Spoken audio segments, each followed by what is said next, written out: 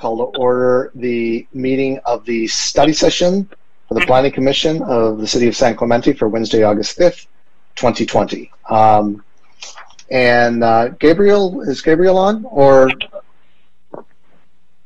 um, Gabriel Oh. is not joined yet. Oh, actually, he's hearing you. I'm sorry, Jennifer, I couldn't hear you. Uh, he's joining right now. Okay.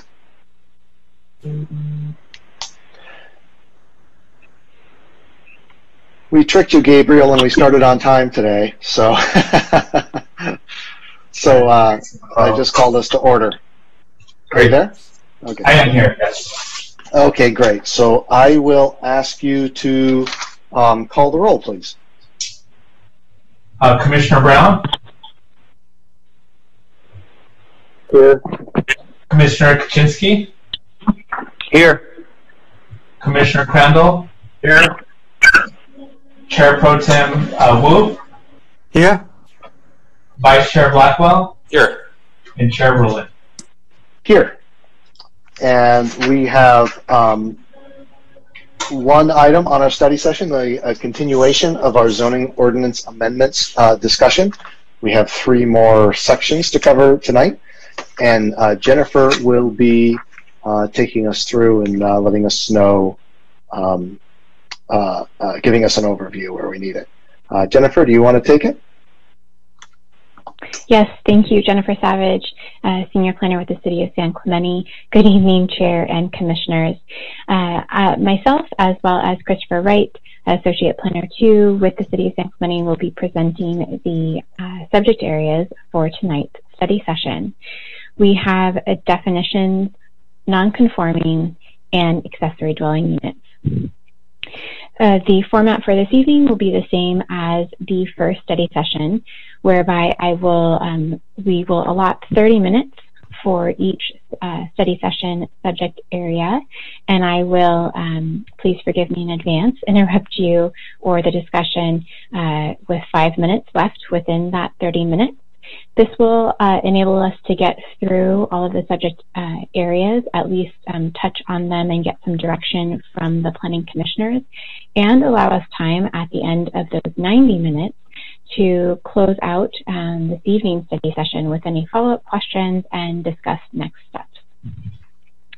Uh, I will begin with the first uh, subject area, which is uh, definitions. This subject area covers 11 different items. Uh, most of these items are to uh, add clarity to terms that are already used in the regulations or that there was confusion about uh, in our code. Uh, other definitions that are addressed in this subject area are to address a planning commission interpretation and current uh, regulations for state law. So what we're looking for tonight is for direction and discussion and any questions or comments from the Planning Commission on these particular uh, proposed amendments to the code. And again, these are considerations to change the definition. So um, you have you have the, the floor to make any recommendations on what to pursue and not to pursue as we move forward with the zoning amendments. That concludes staff presentation, and we look forward to your discussion and direction. All right. Uh, do any planning commissioners um, have you know questions or observations for staff? Uh, sure. This is Bart. Um, Jennifer, uh, can you tell me, uh, are we going through just the definitions for the first section right now, or are we going through all definitions? We are going through all of the definitions that are contained in attachment 2, starting on page 6 in your packet. Okay, uh, and for each one, can you give us an explanation of why um, we are modifying the existing definition to make sure that the Absolutely. modification does what we're trying to do, have it do? Yes, absolutely. Um, so the first definition is alleys, and that's there to uh, create a clarification of the term alley that's used in Title 17, and it would add a reference to the engineering technical specifications in regards to setbacks for garages, carports, and parking spaces that uh, back out into the alley. Cultural facilities Well, is proposed. Can we comment on each one as we go by them? Yes, I'm sorry. Go ahead. Uh, for alleys, um, it seems we're making the assumption that the property line is on the edge of the alley. I'm sure in like the Los Molinos district and all, the property lines run down the center of the alley, and the alley is maintained by the property owners um, rather than the city, uh, as opposed to the alleys we have uh, up in uh, the T zone. Um, so does this, um, I'm questioning whether this addresses all those different types of conditions um, for setback.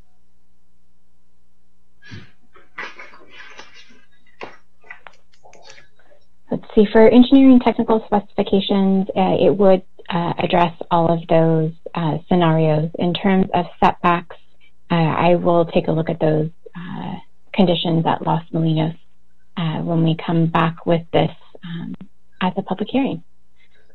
Okay, very good. Um, because I think that that's quite, um, we may find that in the business districts, uh, excuse me, the industrial districts and all also.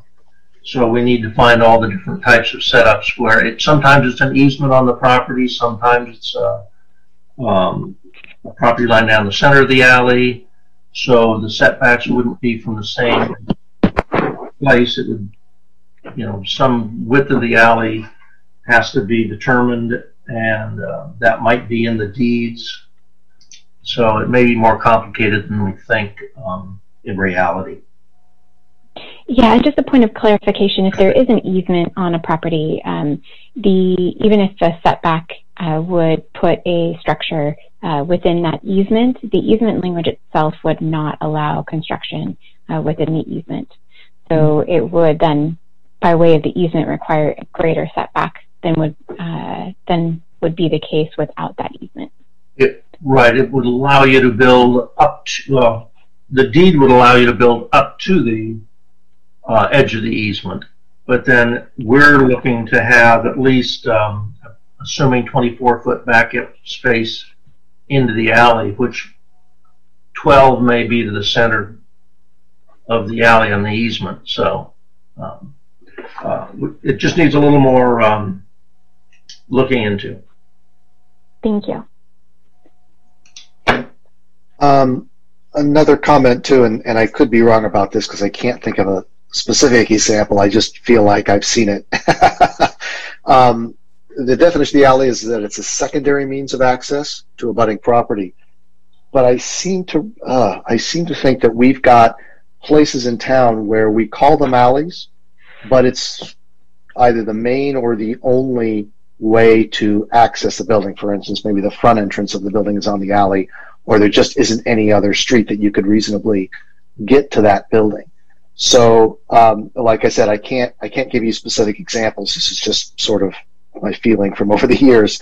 Um, but I'm yeah. Are we sure that this is the definition we want? If we do have some small streets that might be considered alleys, just sort of in terms of how they look or feel, but now we're treating them as streets, and maybe they would have a different setback from what we might normally have as a result.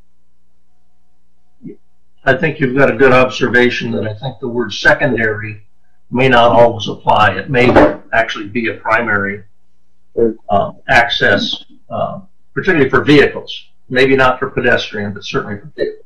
The primary out, one of the primary alleys down in Los Molinos that uh, goes down past the Elks Club and down there is actually a street name to it, although it looks like an alley. Uh, and it's considered an alley, but we actually have a street naming. So some of your points are exactly right. The business does, some of the businesses down there front onto that street slash alley. Uh, Yeah, even pri- pri- uh, privately owned.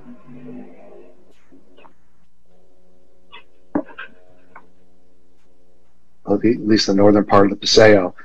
there are homes there, for instance, where there, you know, there's garages and, you know, stairs to the upstairs apartment units, that sort of thing on the alley. So it could be considered a primary access um, in that respect. So we may want to think about that, the term secondary, or really make sure we, you know, we don't have any unintended consequences. Thank you. Uh, staff will definitely take a look at that and see where there may be conflicts uh, for multiple reasons uh, throughout the city. Uh, and inter- is there anyone else that wanted to have input on alley? Jennifer uh, Zhang, um, I just wonder if the alley, if the alley is not used as a secondary means of access, is property still subject to uh, requirement, the, the same setback requirement?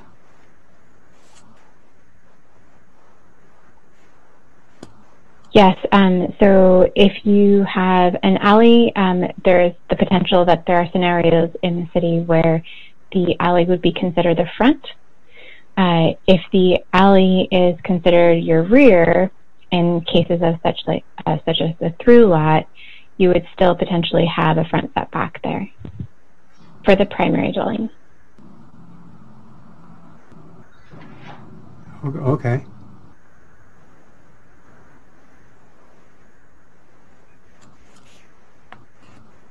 Anything else on the alley definition?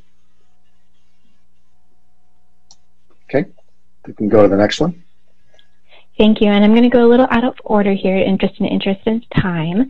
Um, so uh, I'm going to skip cultural facilities and go to hedges, chimney height, roof element, and lot depth. The four of those definitions were put in to add clarification um, where there were questions. Hedges are um, considered in a section with fences.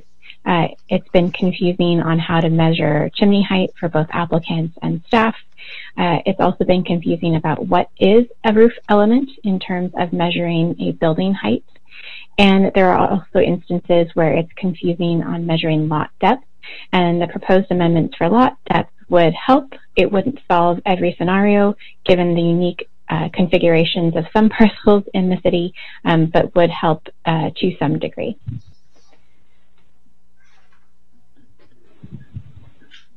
Jennifer, I have some uh, comments on the roof element. Uh, I think the current definition uh, is not accurate. Uh, there are many reasons. a building may have different plate height, may not have in other words, uh, the front plate, plate height may be different from the back side. So they may have different plate heights. Or a concrete building may not have a plate at all.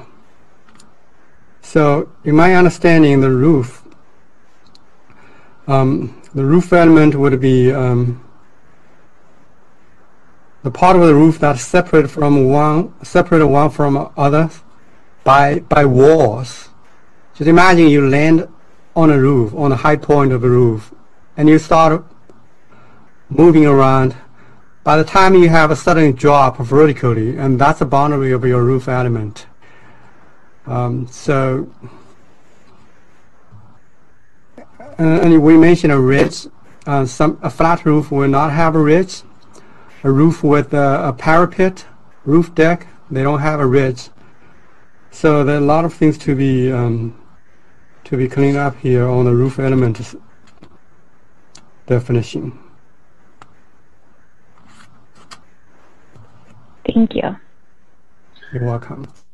Yeah, I, I will jump on with uh, Jen on that one. Uh, we're looking at roof areas um, of a roof, and um, using a plate, I think we had a definition of a plate, and uh, we've been through this before, is not necessarily a wall with a top plate on it, but the um, structural support for the roof rafters and members. Um, so for a concrete building or block, it's where that roof is bolted to the the wall, but uh, we do have shed roofs that don't have um, a ridge but two different plate heights. Uh, we have domed roofs that have the same plate height, no ridge, but it has a height. um, it almost seems like it could be almost impossible to try to craft one that talks about every structural element um, and condition and anticipate them. So I think it might be easier to just have this as roof planes um, and the height of them, and just say the low point and the high point, and then uh, go from there. Is um, when definitions get so complicated, um, sometimes we're trying to do too much.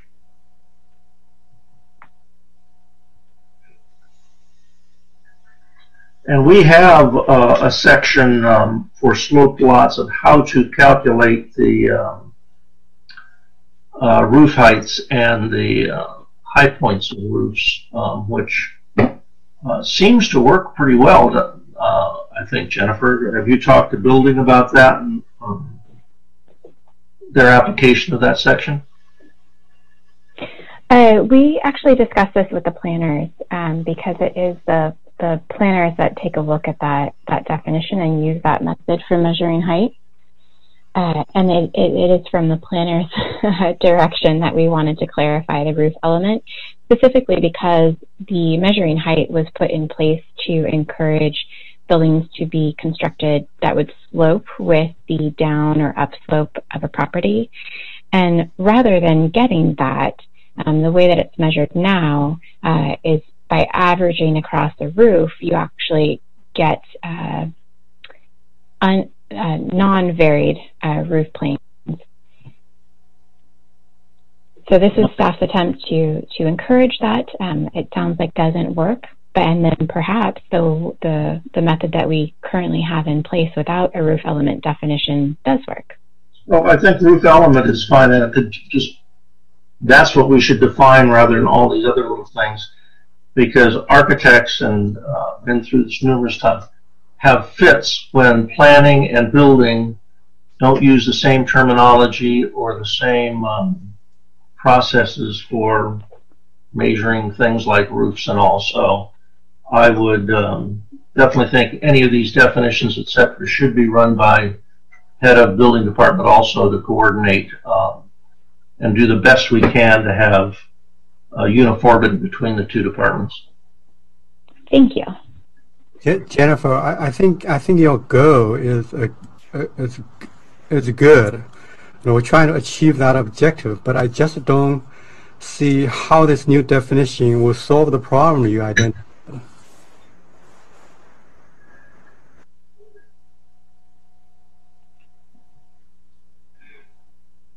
I understand uh, staff will take a look at it again and see if there is a way uh, to meet our, our goal, and if not, um, we will express that at the public hearing.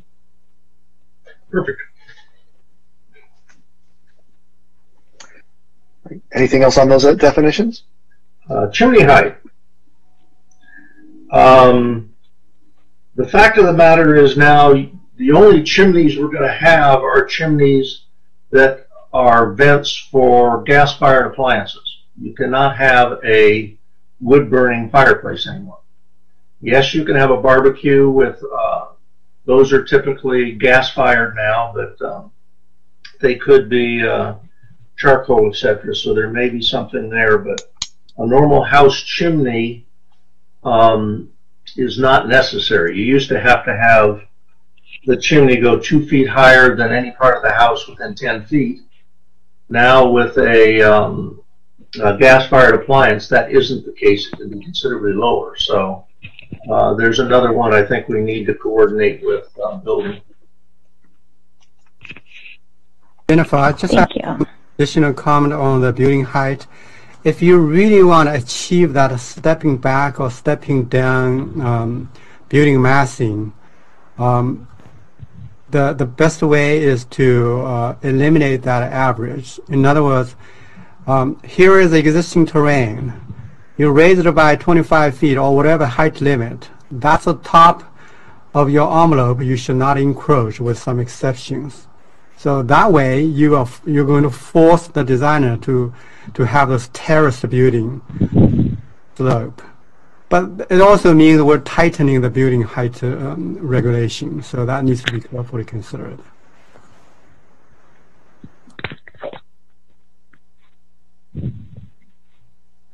And is that something that the Planning Commission, uh, consensus-wise, would want to pursue, eliminating the averaging? What's the proposal eliminating averaging from the average of the um, topology to the roof height? Correct, and rather follow the topology, the topography.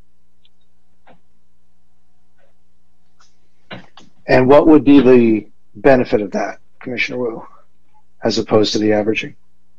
Uh, I'm not proposing it. I'm just saying if the staff wants to achieve the objective to to encourage the building to step down, to follow the terrain, then that would be an effective way. Because right now we're letting people to average the building height. So the result would be um, they're going to want big, big roof element. So they can take advantage of the averaging. The one corner will be higher than, let, let's assume the building height is 25 feet. So maybe one corner they get 30, but at the other corner they got 20. So four corners average they at 25. So the top would be flat. Well, it's still pitch roof in most of the case. But if we were to uh, limit the building height to 25 feet above the terrain without averaging, then people have to terrace the building. So each part, no part of the building would encroach into that 25 feet above terrain top envelope. That will force people to terrace the building, to step down, to cascade down along the topography. I'm saying that it would be an effective way, but I believe it's bigger than, you know, it's, this issue is more, it's bigger than just talking about a definition tonight. It has to come back uh, as a separate item agendized because it's overall it tightens the building height limit regulation.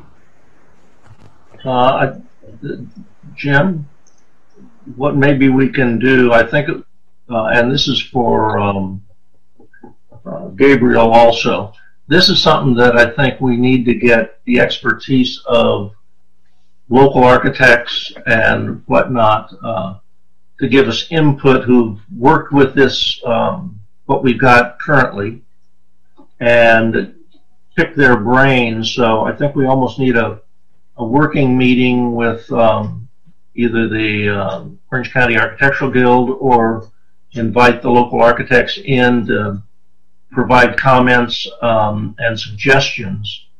because um, they're, they're the ones who work with it every day and see the difficulties. Uh, we know what the end product we want to look, see, and uh, uh, but maybe they have seen it in other jurisdictions, etc., and can give us some good insight on this particular item.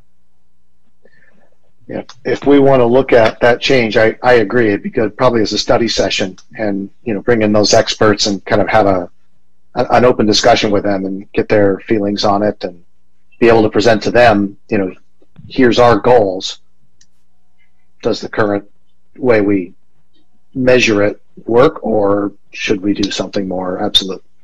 Right. Uh, um, so um, we we should also look at uh, looking to other cities and how they practice this. As far as I know, Laguna Beach has uh, this tighter control and they don't allow the averaging thing. Uh, the, their, their regulation is much more detailed, much tighter.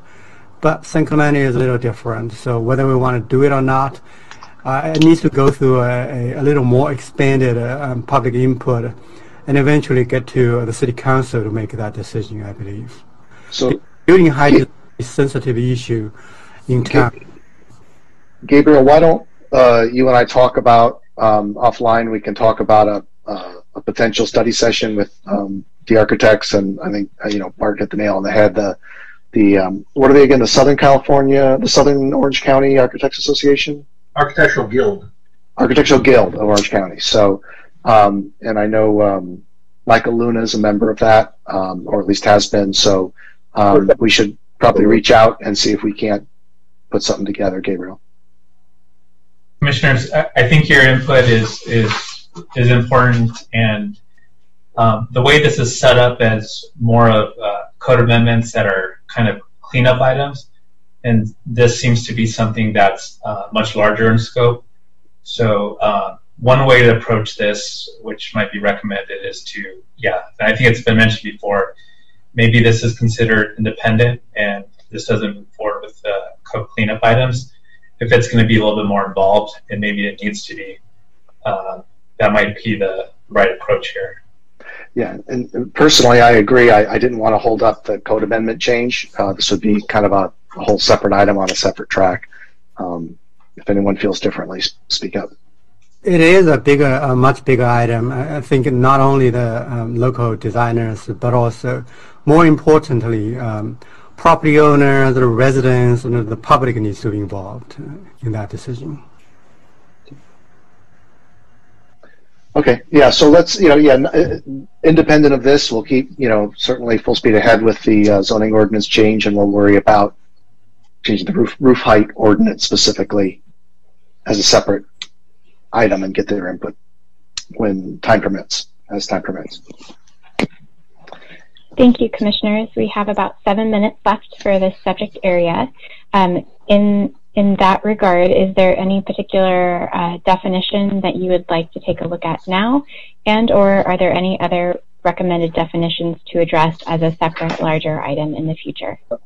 Your inland. Yes.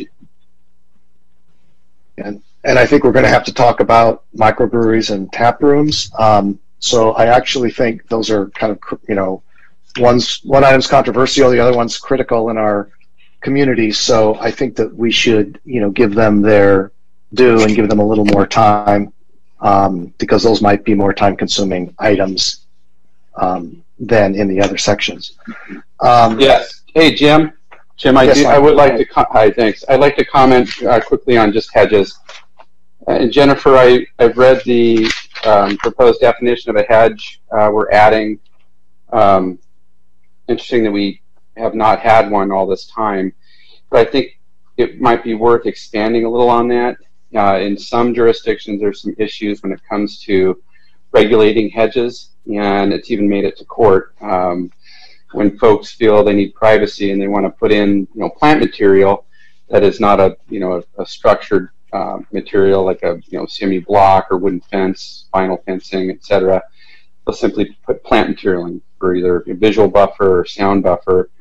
That material could range anywhere from you know some sort of structured vine to you know trees. Um, and our definition is it's it's succinct, you know, and I'll read it.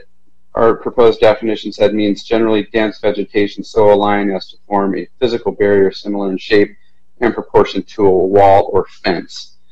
And that is an interpretation, really, um, depending on who is, you know, you know, making that determination, whether it be a neighbor, a homeowner who, who you know, feels that whatever they've done does not qualify as a as a hedge or a green wall, but maybe something else. Maybe they just like the way carrotwoods like out the window. Um, so I would like to know if you'd be open to looking at something a little more expansive, uh, so that you know we can really give some um, strength to to that component. A hedge is clearly something that is you know structured in such a way to create a visual barrier, but it doesn't really. Our definition doesn't really say that, and I just want to make sure that we have some protections in place. And, and I'm going to throw out you know, an example of how it could read. And, you know, this is not new language for some of us on this call. It's pretty common, but we could do something like this. A hedge means a dense row of low branching trees, shrubs, vines, or other plants which encloses land, divides land into distinct portions, separates contiguous properties, obstructs the passage of light and air into adjacent land, or obstructs the vision of motorists or pedestrians on or near public roads. That way we have some you know rationale behind it because I think it could it can get sticky if we start to try to regulate plant material. If it's if you know if we're simply using a, a pruning, you know, uh, a manner of pruning as our criteria to to determine whether you know a row of plant material with no specific identification of plant material, anything that's you know trimmed to look like it's a wall or a fence, suddenly it's a hedge. When somebody could simply plant you know a row of evergreen you know trees and create a hedge without, you know, the effect of a hedge without making it more of a topiary type of a, uh, design. So I think it's worth discussing, and um, like to know what your thoughts are on that. Uh, thank you for the suggested language. We are open to suggestions, and we have that read into the record. Thank you for that. We have three more minutes in this subject area. Is there another de uh, definition that we'd like to discuss? Yeah, Jennifer, I'm, I, I, am going to extend the time that we spend on this particular section because I, I, think we've got a couple Thank of you. important things to discuss. So, you know, my apologize, my apologies for overruling you. It's uh, going to be a rare occurrence. But um, if there's no more discussion on hedges, we can talk about inland canyons. Uh, just Uh, uh, how, how, Chair, I'm sorry, could, Mhm. do you want to specify how many um, more minutes you'd like to spend on this subject area? Let's set aside 20 minutes for now. Um, see see Okay. where we are at that time. Thank you. Yeah, Jim, I will concur with um, Michael on those uh, hedges. I mean, how do we handle a row of um, uh, cypress, which can go to 30 feet? You can pack, pack them in next to each other, and it pretty much creates a wall uh, and blocks view, etc. Um, and currently, I believe you can put that right up against the property line and let it grow. Well, this is uh, Zhang. Um, currently, the city doesn't have a view protection, um, so there's no view easement. Uh, That has something to do with not just the privacy, because you know, a, a row of Italian cypress is going to completely block some some peop other people's view. But as of now, the city doesn't have view, have view protection. What other city called view equity, and the city had a opportunity in the past to to work on a tree ordinance, and the city council decided to um, not to deal with private trees. So, so yes, that's a that's an issue, and it's a it's related to a bigger issue. This is why we need some teeth on any definition that we have for a hedge. Uh, and I say teeth, and I'm sorry, that's uh, probably an inappropriate um, word to use. I mean, we need some Thorns? justification. justification. We need to give it some, you know, purpose uh, other than you know simply being a green wall. I mean, why are we doing this? We we want to we want to create a mechanism to protect adjacent property owners from you know negative impacts, and those would be associated to maybe light uh, or air. Um, obstructing, you know, line of sight for motorists or, or pedestrians, public right of way, you know, in a, in a situation where there'd be a, a negative impact on an adjacent property owner, that would be about all we could do. But otherwise, we're regulating plant material, and yes, that can be a very slippery slope. We can put it in there. We might get a 30% return on folks that are going to be compliant. But if somebody really wanted to, if somebody really wanted to, um, you know, make it a discussion, it could really go a long way. It's it's and it's not an uncommon this this sort of a uh, um, a uh, this sort of language is is consistent throughout many jurisdictions and ordinances. It's it's often grouped into you know walls and fences.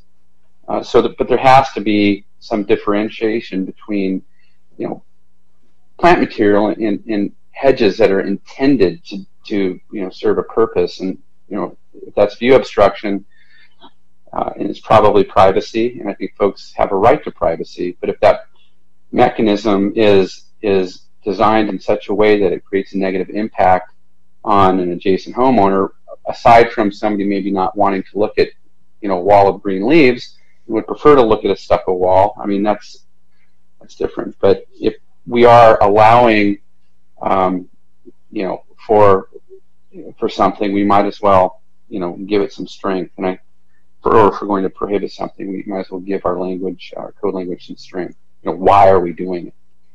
So.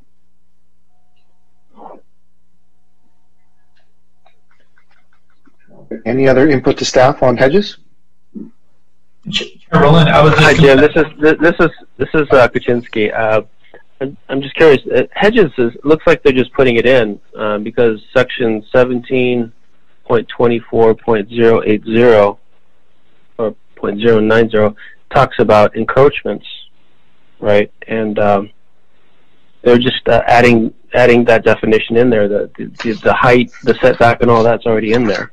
That's something that Commissioner, uh, the other commissioners were concerned about. Am, am I reading that incorrectly?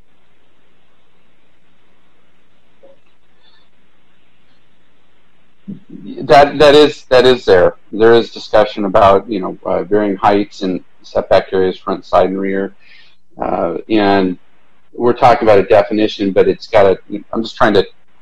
All I'm trying to do is draw some attention to our definition and why we have setback regulations for it, and you know if somebody's going to see a, a, a a rule for hedges, but we have no definition of a hedge, that definition if we're going to add one, should have some, you know, value to it. There should be some substance there, some strength. Otherwise, you know, imagine, you know, this, uh, you know, a homeowner you know, wants to put in some plant material, you know, on their property. You want to have a you know beautiful yard full of plants and shrubs and trees, and you get a letter from you know the city saying, well, you've got to you know remove or you know need to comply and remove your your trees because we believe it's a hedge. So it there should be, you know, there should be some strength to the definition. That's all I'm saying. So, uh, would changing the word hedges to plant material, um, uh, you know, uh, fix that? So now we're talking about the the you know the setback encroachment, which is a, another discussion. I think that if we're going to have definition for hedges in there, we should you know give it some strength. The plant material, I guess I don't know what what do the other commissioners think. I I, I think it's a slippery slope. You start to regulate plant material, you know, and yeah, it's it's we might be we might be going a little in the weeds here. Um, so I'll suggest that I've we've given actually a, a lot of uh, feedback to staff on hedges. So maybe we should let them chew on that and look at some of these uh, uh, issues and concerns we raised and see what they come up with. Is that acceptable to the commissioners? That's good. It would be great. And if we had legal on the call, I know our, our legal representation is, well, has got to be well versed in this area and represents other jurisdictions as well. It would be interesting to get some feedback uh, in this forum so that we can all hear, you know, what sort of issues have come up in the past uh, you know, and what you know definitions are, are most successful and how that's regulated. So maybe something in the future we can talk about. Okay. Um, so if that's it on hedges, let's move on to um, inland canyons. Um, Jim, why did we skip cultural facilities? Oh, I'm sorry. Um, I think Jennifer had mentioned that she kind of excluded that for some reason. Uh, yeah, because she was she wanted to cover that other stuff. So I'm sorry, Jennifer. I'll let you pick the next item we discuss here. Yeah, sorry, I was trying to push us within the time. But cultural facilities um, is added in here because it is referenced as a permitted use in the code, but we don't have any uh, definition. So what staff did is they uh, explored the definitions for cultural facilities in other jurisdictions and came up with the proposed language that you have before you tonight. Uh, where is that used in the code? I mean, um, this could include churches. It could include judo um, gyms that teach a little of the philosophy of uh, of um, judo, etc. I mean, it's a pretty wide um, spectrum of things. and where do we limit cultural facilities? I guess I'm. I think uh, what the staff got here is very reasonable. If you, you know, it's got a reasonable definition, and we don't need to cover the waterfront on, on, on everything like that. Well, I, I do think Bart brings up a good point in terms of, you know, where do we use this definition? And if we use it, if, if it can cover all these other sort of unexpected things, if we use it in a lot of places or for something in particular, are we are we buying ourselves a problem? I I don't know the answer to that. I don't know where else it's used. This is Jennifer. It is used as um, a use within the use table for public uh, zones and specifically it is allowed with a use permit. And for the um, proposed definition, the intent was not to allow uh, classes per se, but specifically um, the production or presentation or display uh, of cultural uh, items. Jennifer, uh, I, would like to add a library to it. Um, I, am not sure. I, I think I, uh, we should add a library to it. Uh, regarding historic architecture, I'd say it depends on the use inside, not not not on the the um, the status of being a historic structure in itself. In other words, if a building is a historic structure, uh, it does not make it a cultural facility just because of that. It has to be the use inside. So I, I, I, I mostly agree with your definition um, with two things. Uh, first is the library. The second is on botanical gardens. Um, it's probably okay, but um, you know, what if other other people are asking about a nursery and horticulture things? Um, there, there, there must be a line to draw. You know, I think I see where staff is going with this. Maybe it just needs to be tightened up a bit. But I, if I understand Jennifer, you might be saying here that this might a cultural facility might be a place where you regularly uh, exhibit paintings, but it wouldn't be a place whose purpose was to teach people how to paint, for example. Uh, do I have do I have that correct? Correct, or sell art. Sell art would be included in this. Would not. Just would not for the display. Included. Just for the display. Okay.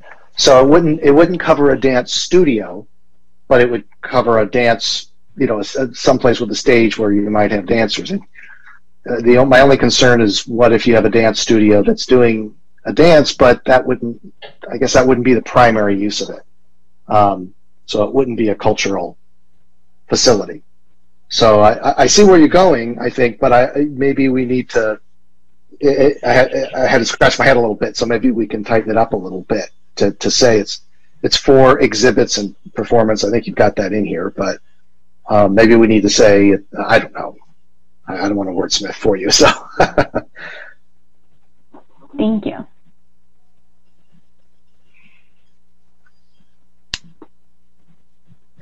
Anything else um, from commissioners on cultural facilities? Okay. What's next, Jennifer? thank you. So um, I think I heard someone want to talk about inland canyon. Well, yes. let's read the canyon. The um, canyon edge paragraph. The more I read it, it kind of gets confusing to me. I, I guess maybe everybody ought to read it, but I'm not sure I capture, the more I read it, the more I'm trying to visualize what we're trying to say here.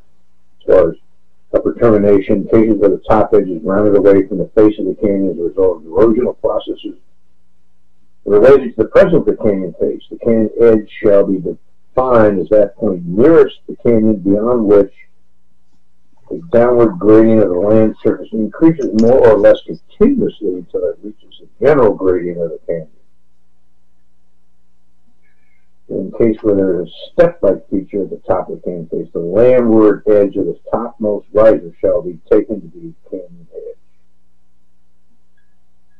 Like yes, it is. Um, but the, earlier part of it, more I read it, I'm trying to get some clarity in it about it. I mean, it's a difficult thing to try to try to define because nature treats these gradients in so many different ways. But I found that the early part of it was kind of confusing. The more I read it, the more I didn't understand it. I, I defer to the other commission members.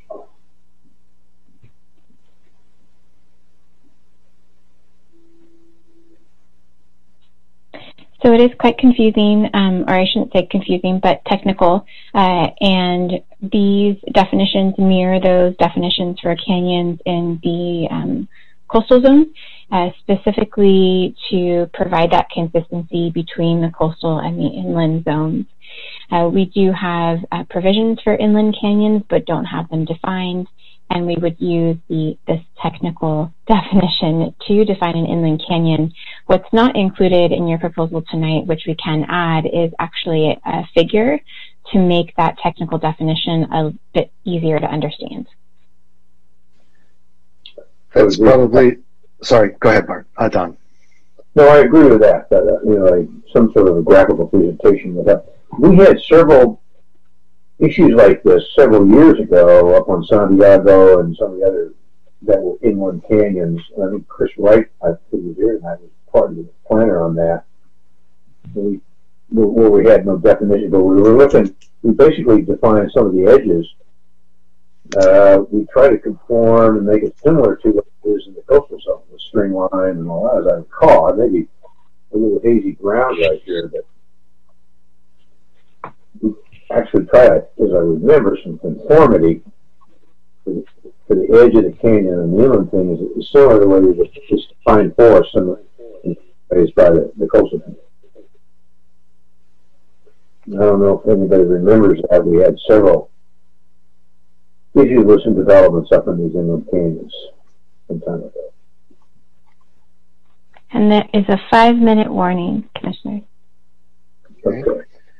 Um, for canyon edge, do, do we have the same definition of canyon edge for both inland and coastal canyons, or are there def different definitions? Uh, we do not have any definitions for inland canyons. This would add them. But and for the, these the, mirror those. These Oh, mirror okay. those uh, definitions for coastal. oh, very good. So the, we have the same definition of a canyon edge between inland and coastal. Correct. Okay, great. This, this paragraph here is the same as what we have on the in our land coastal land use plan, the coastal commission. Correct. Okay. That's the case. I'll back off on and reread it until I understand it. If we already have a definition for canyon or and coastal canyon, then inland canyon doesn't really need a definition. You can just say any canyon that's not a coastal canyon is an inland canyon, and that's all. To clarify, uh, we have a definition for coastal canyon, but no definition for inland canyon or canyon.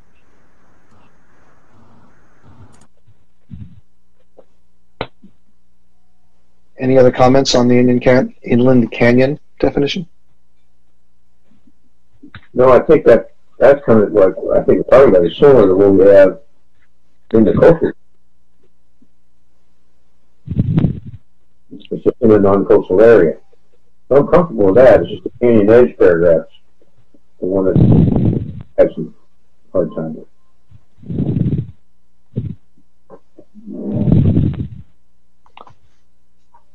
Okay, Okay. thank you. Uh, three minutes left.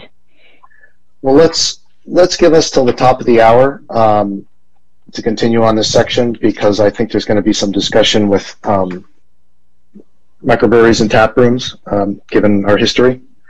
Uh, so uh, I think it's important to kind of uh, uh, uh, wrap that up so we can put a bow on this section. Um, is that the? Did you have something you wanted to talk about before that item, Jennifer, or would you want to go to the de- the definitions you have under restaurants?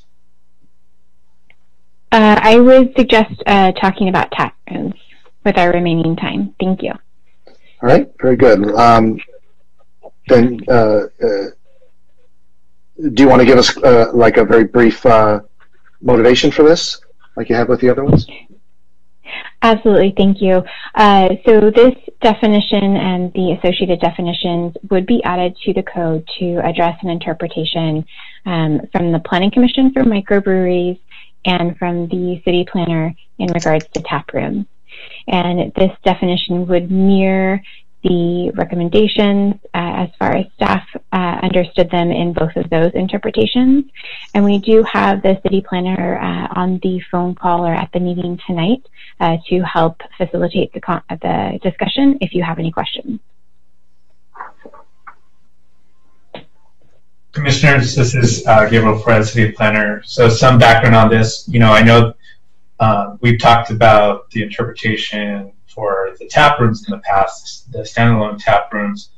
And um, so what we did present in here um, were ways that this could be integrated to the code if the Plan Commission, um, or based on the interpretation, right? So our interpretations should actually be included in the code, but there is the opportunity for the Plan Commission um, to modify um, how that would reflect in the code or um, you know, potentially it, it's not included.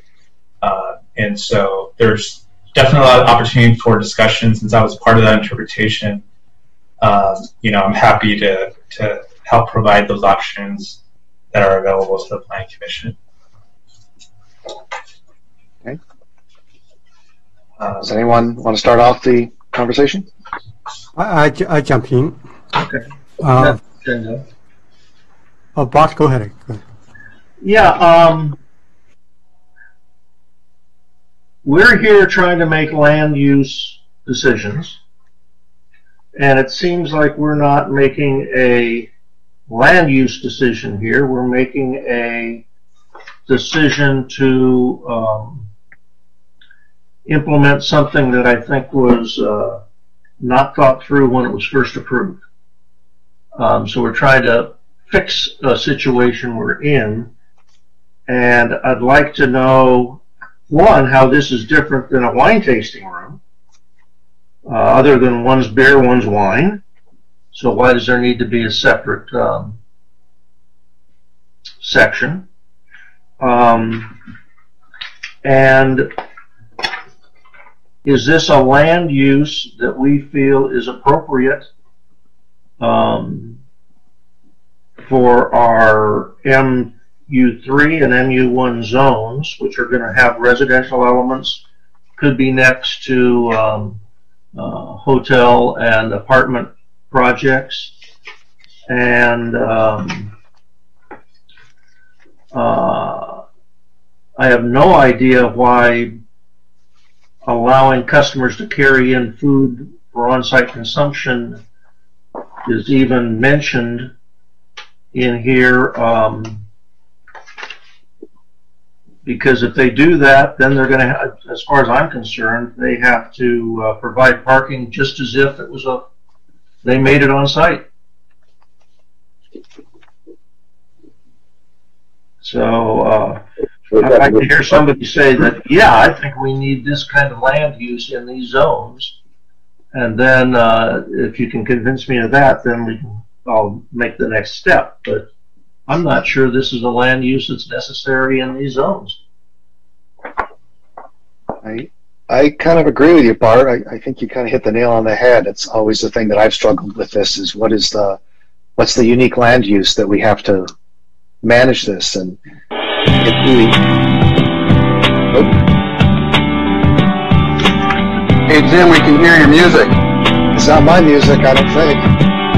I'm hearing it too. Excellent, excellent taste in English music. I don't know what that was. So anyway, sorry. um, yeah, we also seem to be treating a tap room more like a restaurant, which uh, you know I know they're only serving beer, but I know plenty of people who sit around and enjoy a few hours of uh, a beer. So um, uh, I, I don't really understand that either. It seems to be, I think, as Bart was saying, kind of like um, at best a distinction without a difference, or maybe trying to shoehorn a use in where it might not be ideal. I mean, a restaurant, well, you know.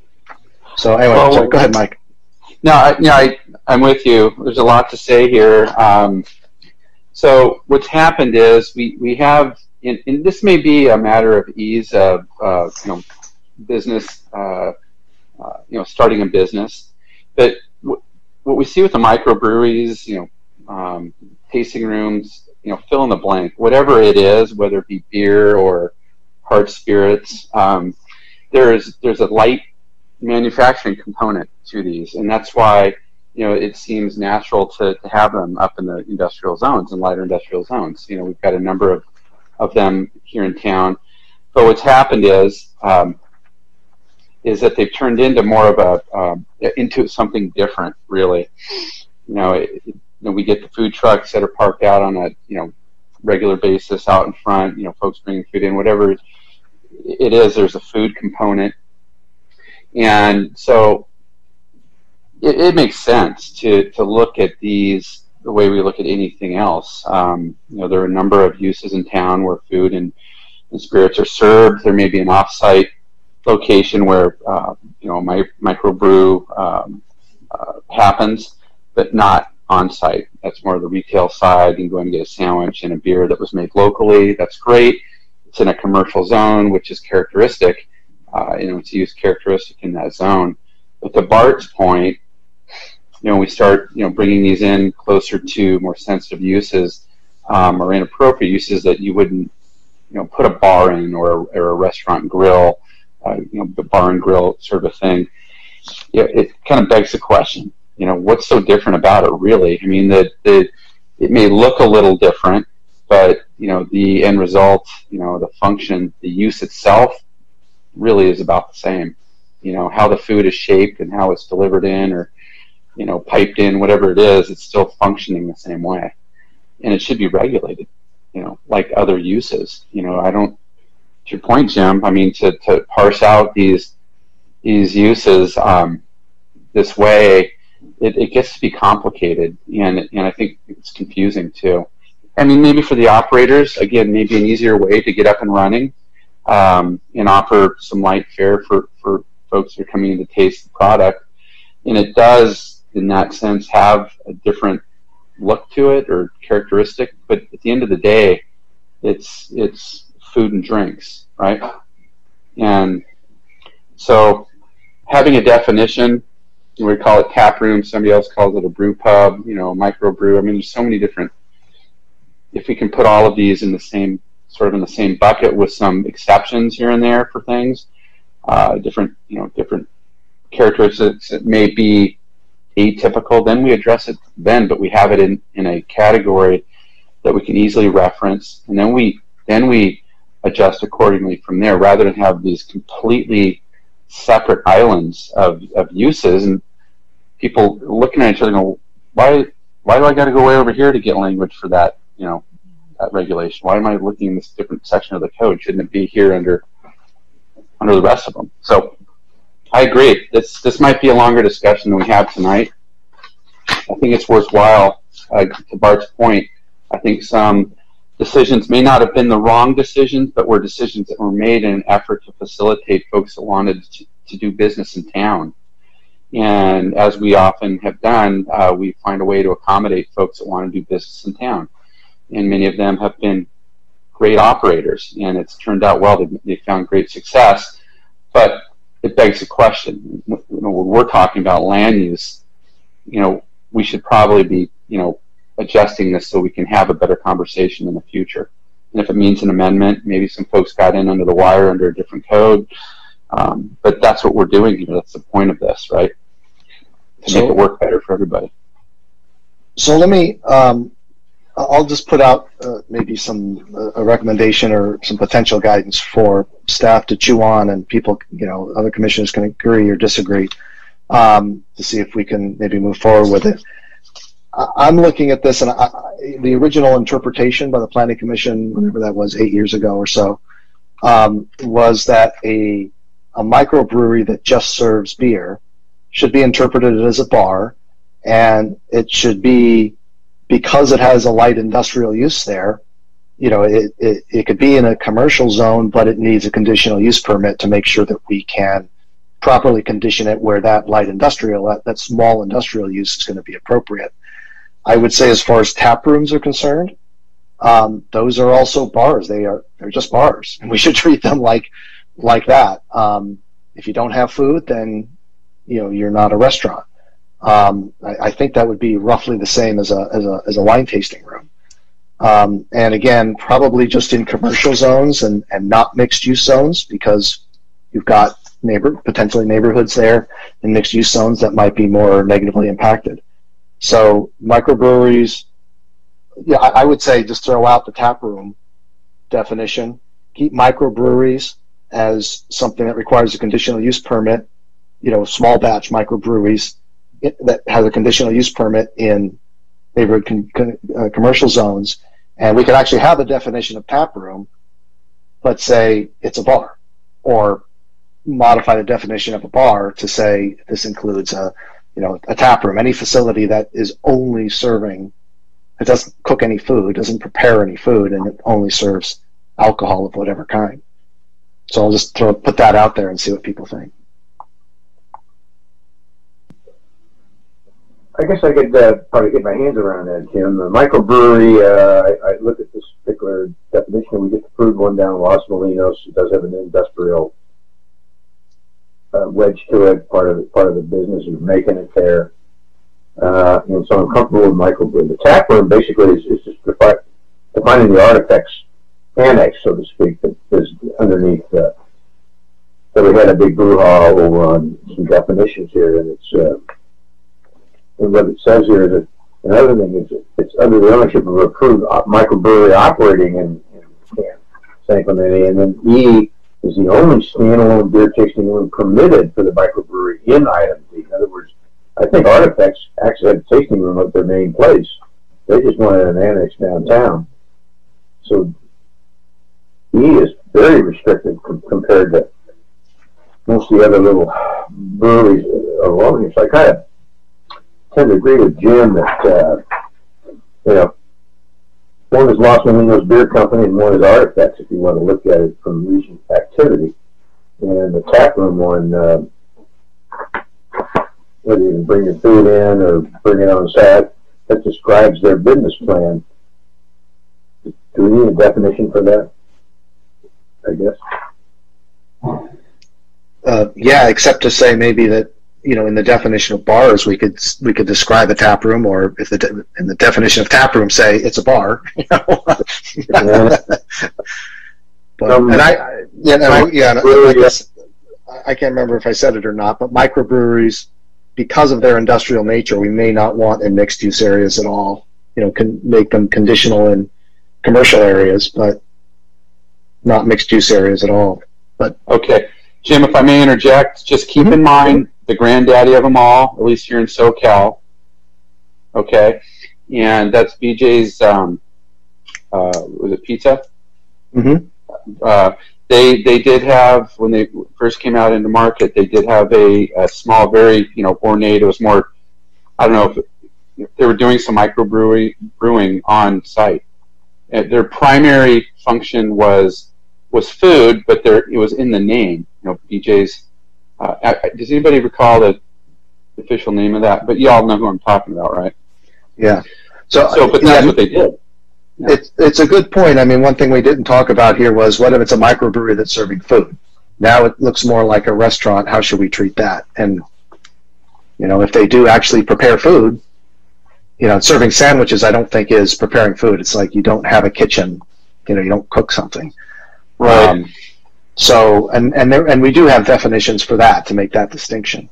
Um, but maybe you know, maybe want, we want to restrict or allow based on also whether they use food. And my biggest concern in that case is just the the fact they're doing a small industrial stuff and should be conditioned to make sure that it doesn't interfere with the neighborhood since it's a you know since that part's not um, an obvious compatible use. Mm-hmm. Well, I, I think um, we're pretty much on the same page. Um, in my view, viewpoint, um, microbrewery, brewery, tap room, um, they're all bar. And by the way, we don't have a definition for pub. We mentioned a pub somewhere. We don't have a definition for it. If we want to expand the definition of bar, we can do a sub-definition underneath the bar, but I don't think they're necessary. ABC, Alcoholic Beverage Control, has a, a clear definition between a distinction between restaurants and bars. A bar is primary for the sale of uh, alcoholic beverage. Restaurants, on the other hand, is for serving meal. Restaurant may have a, a alcoholic license, may have a bar or not. A bar may serve food or not, but um, they have the defining character is if they're, whether they're selling meals or, or, or alcoholic beverage um, as their primary source of revenue. Um, bar has um, bar is quite different from a restaurant because um, in order to, to go to a bar, people need to be 21 years and older. I cannot bring my child to a bar. I can go to a restaurant. So they do serve the public, but they serve a smaller uh, subset of the public. And I think they're different land use. Uh, I, I, I'm, I do not agree that we put a bar underneath the restaurant. They are different. And a bar is associated with uh, quite a few negative uh, impact to the neighborhood. To name a few, noise, parking, security uh, concerns, people have fight there.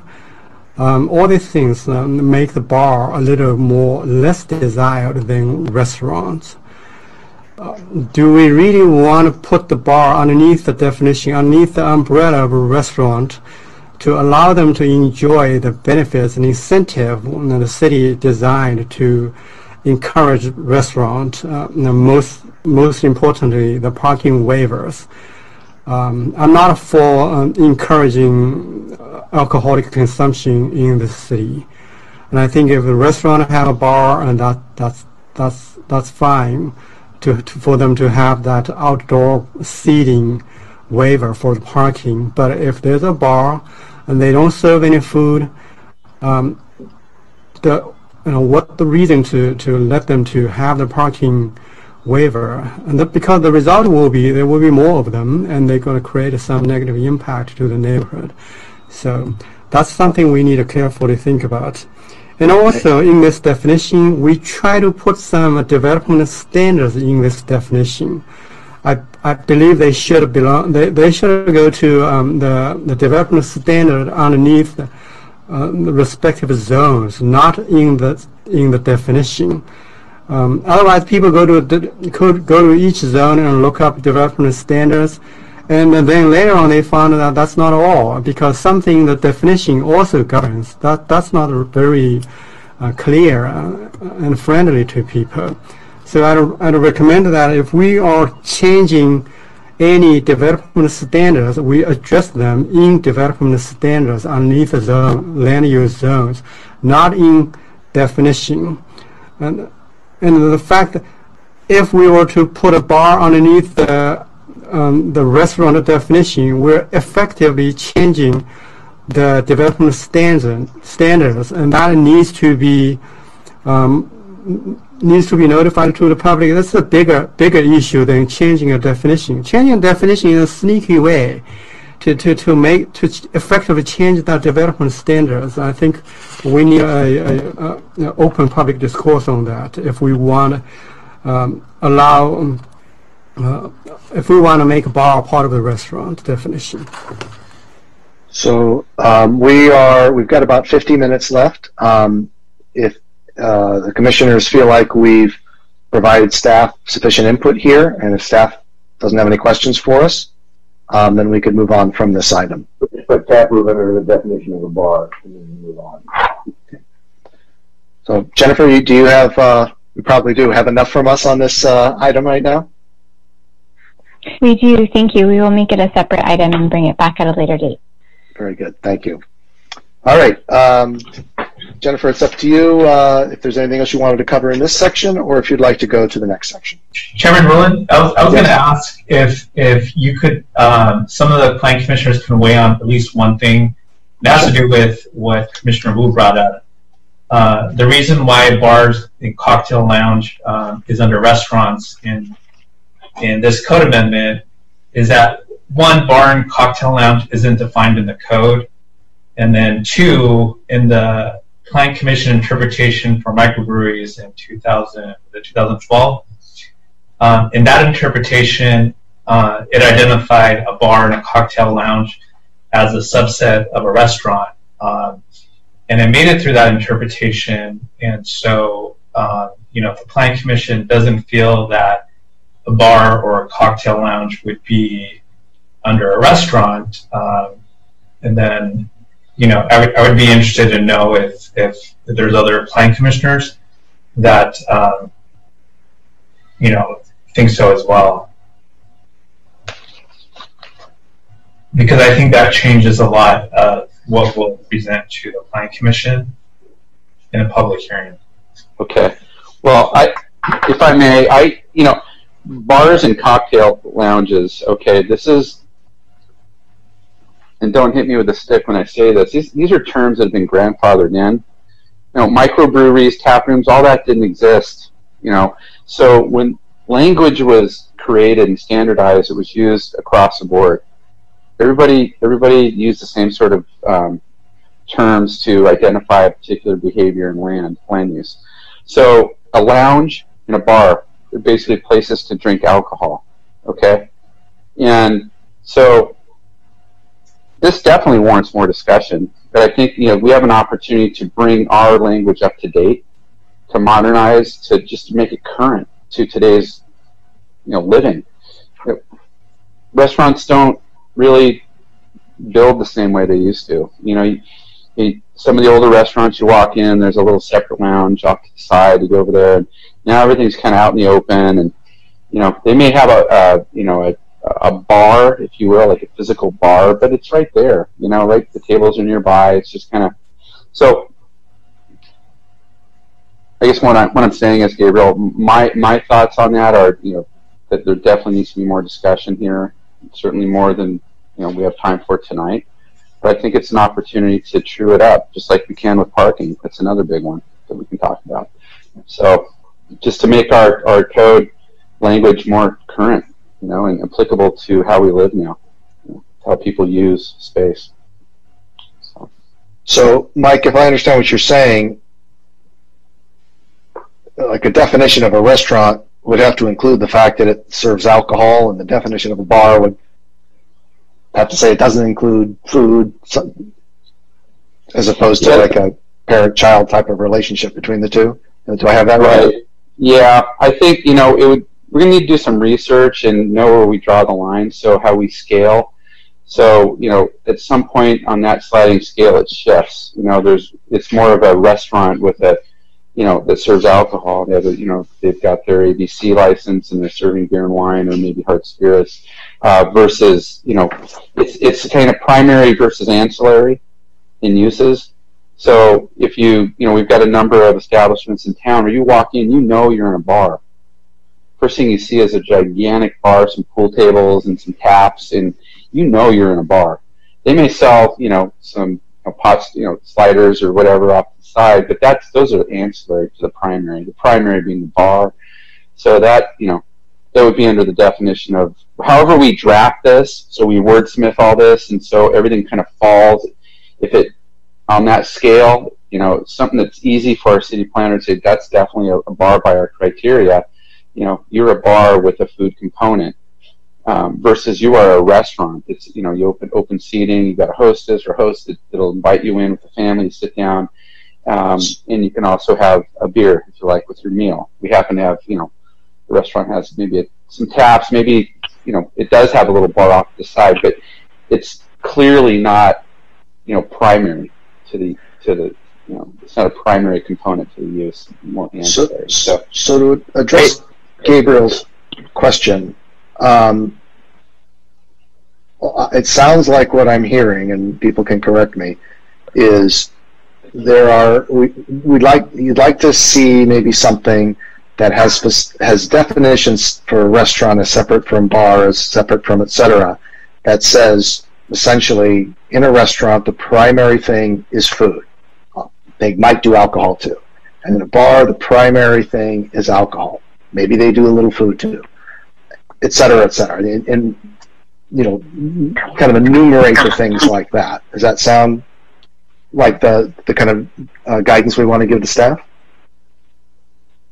Yeah, I'm all for it. Yeah. That's Okay. the ABC now. So it's all the bar, good. Okay, Gabriel, do you have what you need then? Did that, did, did, we, did that answer your question? Yes, it does. Thank you. Okay, good. Okay, over to you, Jennifer. Thank you. And for the remaining time that we have until 7 o'clock, um, I'd like to in- reintroduce Christopher Wright uh, to discuss the uh, non-conforming provision. Thank you, Good Jennifer. evening. Good evening. Christopher Wright, Associate Planner 2.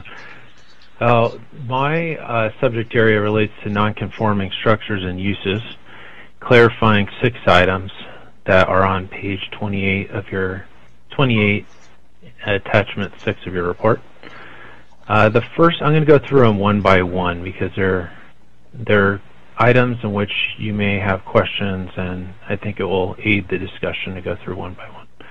So first, is there's an item to clarify the 50% rule for detached garages and garage expansions.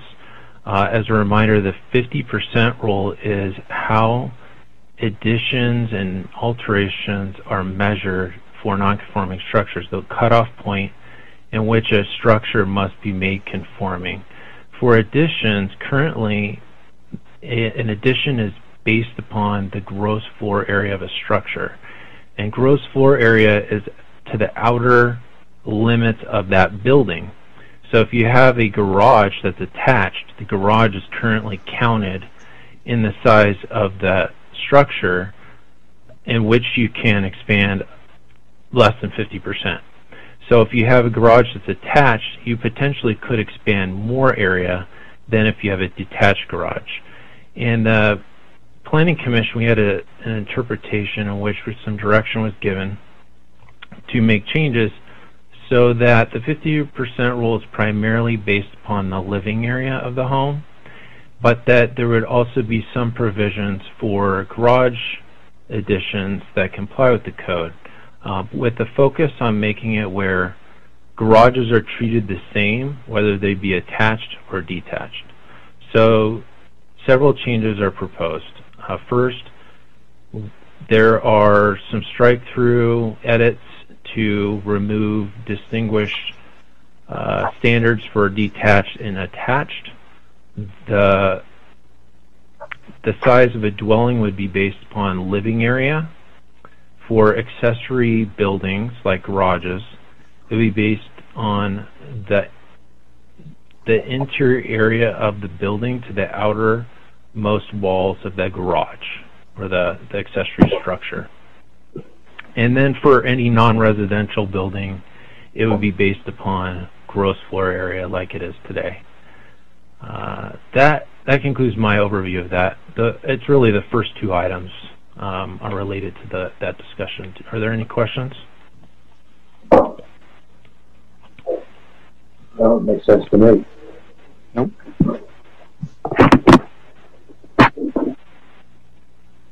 No, seeing none, I'll Uh, keep going. Chris, Chris, Chris, okay. You're going to keep going. You're, so you're going to get deeper into the non-conforming accessory piece. You're just working through. I think I lost you. Did you say you were just on page 28? I'm on 28? Pete. I'm sorry. I lost you. Can you hear me? Yeah, I, I can hear you. I apologize, but I, I'm not clear on what you just addressed. You're just addressing page 28?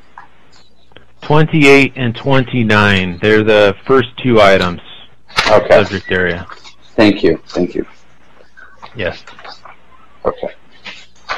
I know I would I'm- like to try to go through the items as we go. So if you have any comments or questions, I I would welcome them now, so we can try to get through them. We can always come back if you have more questions. Okay. Okay. So on page 29, the third item is related to parking required for multifamily expansions. There were some city council comments over time raising a question of whether the city should allow additions to multifamily residential structures that have non-conforming parking um, without them bringing parking into compliance with parking standards.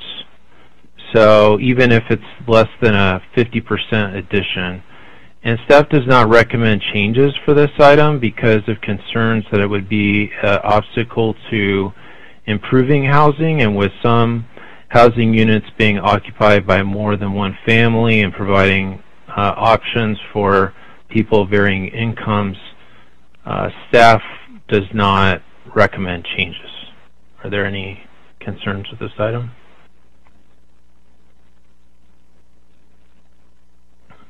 Nope, doesn't sound like it. Okay. The fourth item is an exemption for residences with single-car garages or carports prior to April 4th, 1962. Our zoning ordinance nonconforming chapter exempts residences with a single-car garage or carport built prior to April 4th, 1962. It does not speak to what whether that exemption applies someone were to completely tear the house down. So uh, staff's understanding is the intent is not to maintain that exemption if someone is making significant changes to a house. So we are proposing changes that would say if you are removing portions of the structural frame of that house and the changes are 100% or more of the replacement value of the house, then that exemption would no longer apply. Any questions? Yeah, this, this gets into a question that I had because I saw in a few places we seem to be, at least to my eyes, this is, is, is kind of a new thing. We've usually done like 50% square footage or something like that. We're now saying for some of these items that that uh, bar is the replacement cost, 50% or 100% replacement cost. How do you calculate that? Yes, so I on uh, first I, I do want to note that the idea of replacement cost as a threshold for applying non-conforming rules actually exists when it comes to accident damage for non-conforming uses. And so we are taking that same idea and text and just applying it for some unique circumstances in which it can be difficult to, in staff's opinion, to cover different circumstances that could come up for people and and more complexity in how you may measure something. Um, and and I'll and that will make sense when I get to the next item. But it, why don't we turn to uh, let's see here, just a second.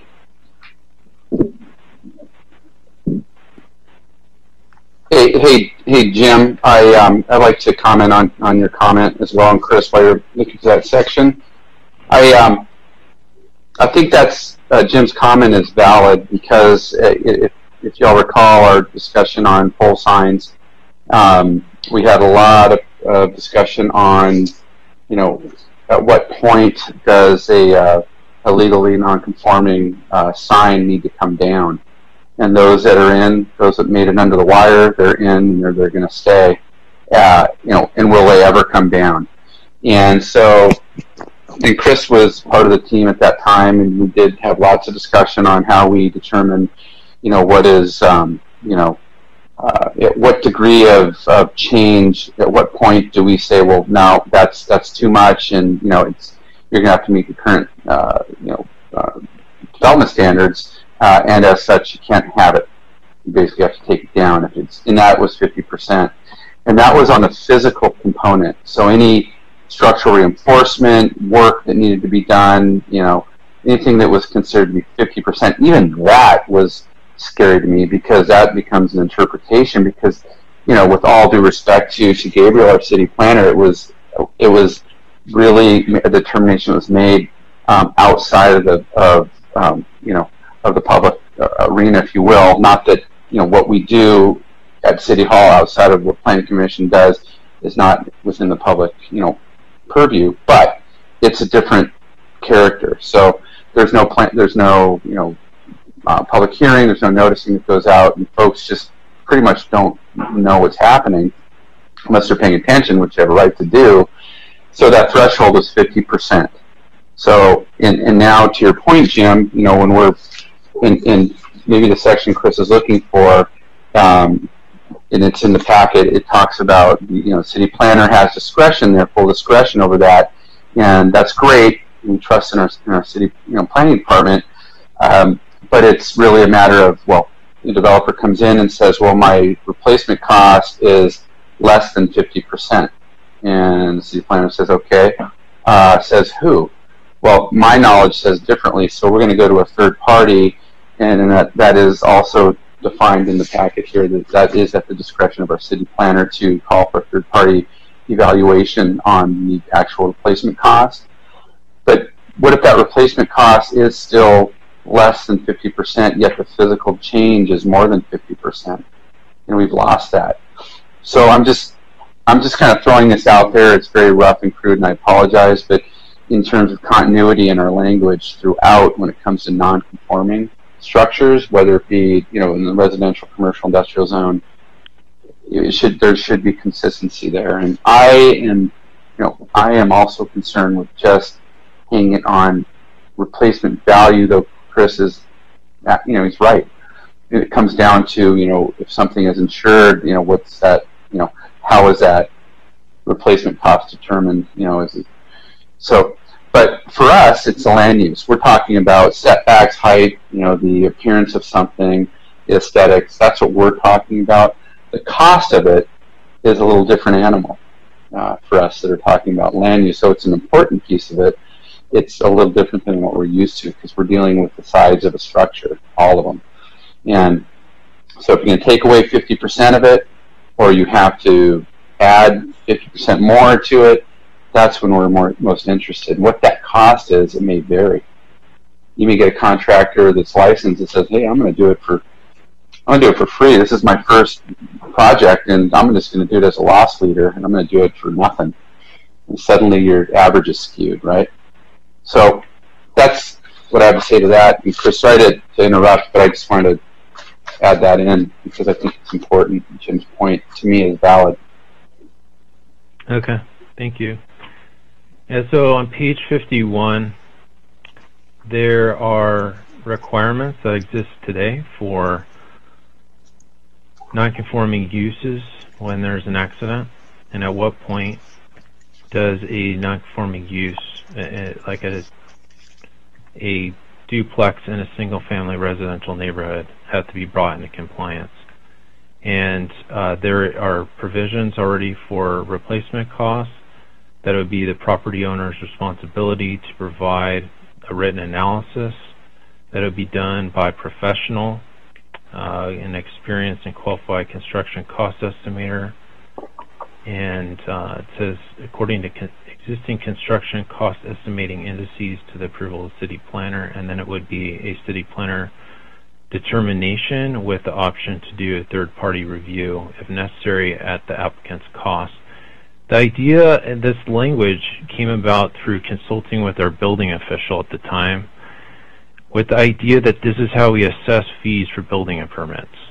And so I was, when this text was put together at the time, we our prior nonconforming ordinance also had the idea of replacement costs, and changes were made in 2008 to improve the language with consultation with building staff. And the idea is we calculate fees based upon replacement costs, and the building official routinely reviews what the valuation is according to indices and using that same idea to to apply nonconforming regulations when it can be more, I, I think, tricky to deal with a particular situation. So what do I mean by that? Well, uh, accident damage for a, a structure could mean changes to the roof. It can mean damage to the walls. It can mean damage to the foundation. Uh, and so it can be all encompassing. And so that's why it, it, I think in the case of accident damage it was used. Well, why staff is proposing it now is because for a garage, um, a single family residence with a single car garage, a lot of these garages are in the back of the property. And previously this issue has come up before on whether we should not exempt these buildings. At one point should we not do it? And there was public concern about about the complexity of adding a parking space if a garage is in the back of the property. And so there was extra emphasis put into this idea staff had of of using replacement costs setting it 100%. So you have to like you're doing 100% uh, value type of project of the house, that that would be the point in which you would have to add a parking space or change the parking. So if replacement cost is not desired for the situation, then uh, I have another idea. But with that explanation, can I get some further discussion and guidance on this? Chris, I would just say it's all about intensification and degrees thereof, right? So you know, replacement cost, it's important and it should be factored in, especially when it comes to fees. Okay, maybe that's that's a useful piece of it. I just I'm thinking about intensification. If we're if we're intensifying something, um, you know, I'm just hung up on anything that was legally non-conforming that experiences some sort of expansion, but you know, we're, we're weighing that against how much it's going to cost to do it. you know, having knowledge of construction costs, I mean, we have standards, right? But uh, again, you know, I, I know a couple GCs that are new, they're new at it, and they're doing work for free, basically. I mean, maybe they get materials for half as much, and you know, maybe they're willing to do it, you know, at a reduced labor cost. I mean, so we start to that's a slippery slope it really is because if, if a contractor comes in or a developer comes in and says, well, I, I want to do X, Y, Z, and this is our valuation, and the city looks in, in their you know their standards book and, and sees that you know they're looking at all the lines and they come up with a different number, I think that's an argument. You know, you know maybe the developer says, well, you can't tell me what I get, you know, these air conditioners for. You know, I get them for pennies on the dollar. You know, my brother owns a, a manufacturing plant, and I get them for cost. You know, I'm not paying four thousand dollars a unit. I'm paying you know four hundred dollars a unit.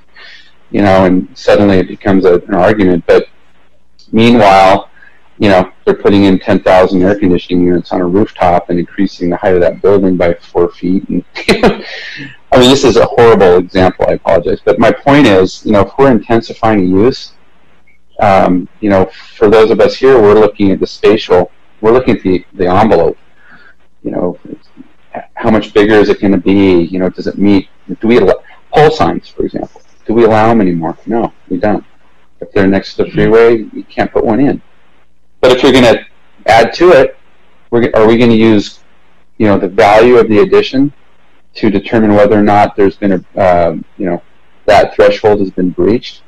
and then suddenly it's you know it triggers a you know you know something that requires it to meet the development standards that are current because of the value that the developer says it has or even a third party says it has regardless of what the intensification looks like physically? Uh, so you guys you, I'm sorry Chris, can I just can I just say that the code changes that are proposed are on page 40, so we can actually see what's proposed? Our, our goal here, to step back for a moment, as where people are, switch, are flipping to that, our goal here ultimately is to take something that is, at, at some point, take something that's significantly out of conformance and bring it into conformance. Right? You got some place that was built 60, 70 years ago, got a little one car garage or something back there. And at some point, they've got to get sufficient parking. They've been grandfathered in for, well, since my grandfather's day, right? and at some point, the goal is to bring them into compliance. We're not trying to like push them off a cliff or anything, but at some point, come into compliance. You're talking about homes here that are at least 60 years old. And we're doing kind of, it sounds to me like, and people can correct my thinking, we're kind of doing these flips and twists to get an estimate of what it will cost. So that, and based on that estimate, if it's over or under a certain amount, they've got to bring the garage into conformance or not. A garage has been out of conformance for many decades. So, and people are going to play with those numbers, right? They're going to get the right contractor. The contractor's going to like, you know, do an estimate, and of course there'll be big cost overruns to get to the actual cost, but that low initial estimate will get them to the number they need. And I'm just wondering if we're if we're trying to do too much here at this point. This is specifically for houses built before 1962. So at some point, can we get? Why can't at this point we pick some very subjective, excuse me, very objective, simple measure? You know, maybe it's a pretty low bar. You do any change. You do a 10% change. You know, you do a change that requires a permit of more than $300. Some objective measurement like that, and say, oh, Okay, now you have to bring that into conformance at 60, 70 years old. So that's kind of my question is, is we seem to be doing a lot of work here and, and kind of leaving uh, the door wide open to people, you know, kind of jiggering the system to avoid coming into conformance. Why don't we just make it so that people need to come into conformance at this point and kind of make a very simple rule with a fairly low bar if we want? Well, if if that's what the Commission's position is, then I would suggest for this situation to say that the existing rules for uh, removal of an exterior frame or alt major alterations to the frame would apply here. But I think we need to we need to decide what the, the percent threshold should be. Should it be a 50% threshold like any other non-conforming structure? Because right now, it, it's exempt from those rules. And so staff was leaning towards being more generous for these older homes. And does that does that mean we're okay with, uh, say, say we were to change this text and say, unless a project uh, removes portions of the dwelling structure removes or um, involves major alterations of the dwelling structural frame according to the other rules that in the chapter that that are 100% or uh, up 100%. You know, what what's that percentage that the commission supports? Well, if I may make another another comment. If we're going to, to Chris, if we're going to do this, is it too much that we just have continuity across the board? I realize we're talking about a specific, um, you know, type of use here, but I'm just looking for for continuity throughout our code when we're talking about non-conforming uses. And if if there is, so 50% is the number that it's been, we've been talking about that number since I've been around, and, and maybe you know, others that have been around longer than I, including Chris and Bart, uh, Jim, and uh, and Don. You know, 50% seems to be the number, and if we can do sort of a maybe a survey, I've seen it in other jurisdictions as well. Maybe we just pick that number and exceptions are part of the process. It's part of our function as a group here, and we look at exceptions. So if, if we're talking about you know, one use versus another, if you have a residential use that is doing some sort of expansion, um, you know, valuation aside, it comes to us if there's a if there is some sort of a um, you know maybe it's sixty percent so it goes up, you know, public hearing, we talk about it, and then we do it on a case-by-case basis, basis and consider impacts and, and all these things just like any other project. But I, I really do think we should have a, a standard across the board for all non-conforming. I understand where you're coming from. I think the reason why this situation has been set aside in the past, there's been public concern before about setting a limit on additions, and uh, so I was very careful with this one. Uh, I think it's this idea that a bunch of these older buildings with these one-car garages, they're in the back of the property. And so changes to the residents, uh, the 50 percent may not be enough. You know, I, I don't really know. You know, I'm just theorizing here based upon the idea of where this exemption came from.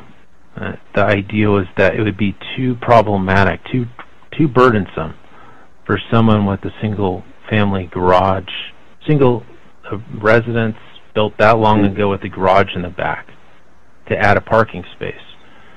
So if if that's the situation, then maybe we do that. Maybe we have exceptions. So the uh, the big thing that I I've never agreed with this exemption on is that you could tear down the house right now. Yeah. And you can have the exemption again. So that's yeah. what I was focused on. I agree with that. Chris, but then how do you measure that? That's that's the challenge. Is, right. is that oh. exterior walls? Is that alterations? Uh, that that's. I, I there's a couple.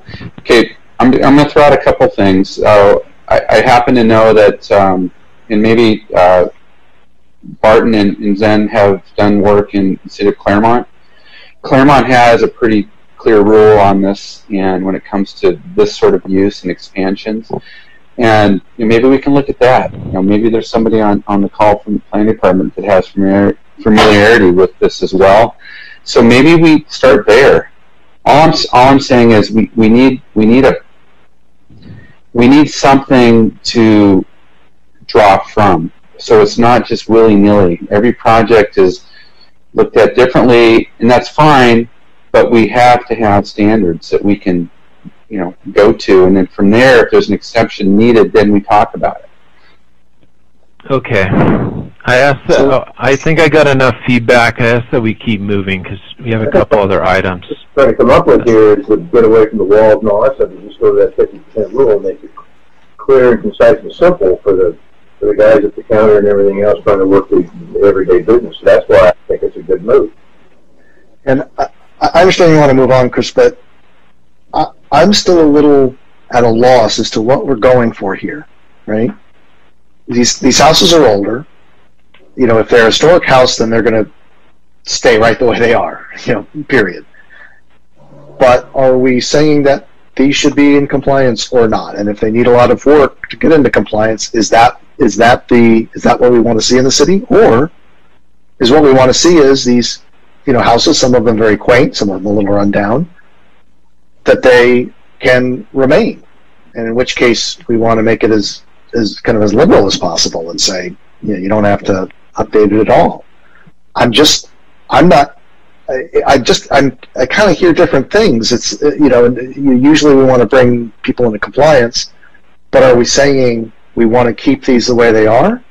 Do we want to say we want to bring them in compliance? Do we want to say we want want to make them historic structures? Because that you know some of them could be historic structures now, in which case they would be preserved. You know, except for the ones that maybe don't fit, fit the bill of historic structure. So uh, that you know we can talk a lot about what we can do, but what we do do is going to drive some some you know some behavior in the city. It's going to drive some outcome in the city. I want to make sure we're hitting the right outcome, and maybe I'm missing it here. Maybe maybe everybody knows but me, and everyone everyone gets it but me. But you know, I keep asking, what do we want to see here with these kinds of homes? Do we want to preserve them? Do we want to move them on to something else? Uh, I'd like to hear on other commissioners on that. Is an accessory uh, dwelling type issue here for structures to the older things, and what he's trying to do is get away with the, the the problems of how you calculate it with walls and decks and in, interior, outerior, and he just said, okay, set a percentage of the change of the structure, and beyond that, you've got to bring it all up to code. And so what he set here is 50% of the value. And it kind of gets away from all the determinations of interior walls, exterior walls uh, of an access accessory structure. So, so tell me, let me, uh, let me, let me pause you at the pause button just for a moment. So maybe you or Chris could tell me if we do that, if we, if we put that in and save 50% of the cost of it, what's going to happen? What, would we expect to happen in general with these kinds of structures? And is that what we want to see in the city? Can I can I address that? I think it comes down to a, a simple question that that I keep coming back to. Should people be able to completely tear down a quaint house that is a part of a neighborhood that was built 50, 60 years ago with a single car garage? Should they be able to take a bulldozer and run it over and be able to keep a single car garage? Uh, to me, the answer is no. You bulldoze it down, you get, you're starting over. Right. Okay, uh, I'm, I'm going to jump in real quick um, and kind of go with Chris. Um, if somebody takes one of these houses, bulldozes it down, builds a new house, has the neighborhood's parking issues affected at all? No. It's a single family house, it's a single car garage, just like it, it has been for 60 years. Um, it's almost like having a um, an exemption from the parking requirement on that lot. Does it hurt the neighborhood? It'd be nice to have the extra parking space. If it's in the rear, uh, they've got a longer driveway than anybody with a front-loading garage and can stack three, four cars in there. Um, what's the impact of the neighborhood? That's what we've got to focus on and uh, determine. Is there one? Is it negative?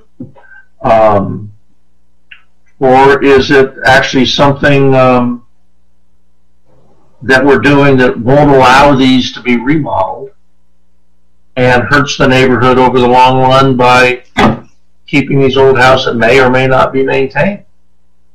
So, um, I mean, the state's already shown us that, that they don't care about parking uh, on property. I mean, the same house could have a ADU um, and not provide any additional parking. That impacts the neighborhood more than letting to have the one-car garage. So Yeah. we we need to make that land use decision rather than worrying about all this little stuff. And once we make that decision, then we craft this, uh, the ordinance accordingly. And, uh, Chris, would you say it's a huge negative impact, uh, to a neighborhood if these, um, lots are allowed to maintain their non-conforming garage? And still, uh, still just basically rebuild a single-family house? I think considering that some homes are occupied by more than one family, if someone were to tear down a house and enlarge the house and may potentially have more occupant, having more parking could be a good thing. But I think that's kind of a side issue for me. I, I think part of this comes down to fairness. If I am building a brand new property, I need to have two car garage. If I have a property that was built 60 years ago and I have a single car garage, I can continue to have a single car garage indefinitely. At what point does the city think it's fair to require everybody to be treated the same? That that's a, it's a non-conforming ordinances are tricky city to city because it it, it ultimately is based upon what is fair. And at what point is it fair to make somebody follow the rules that somebody else has already had to follow? Well, you know what, Chris? That is in the planning world. That has been a, a discussion that's gone on since the beginning of time.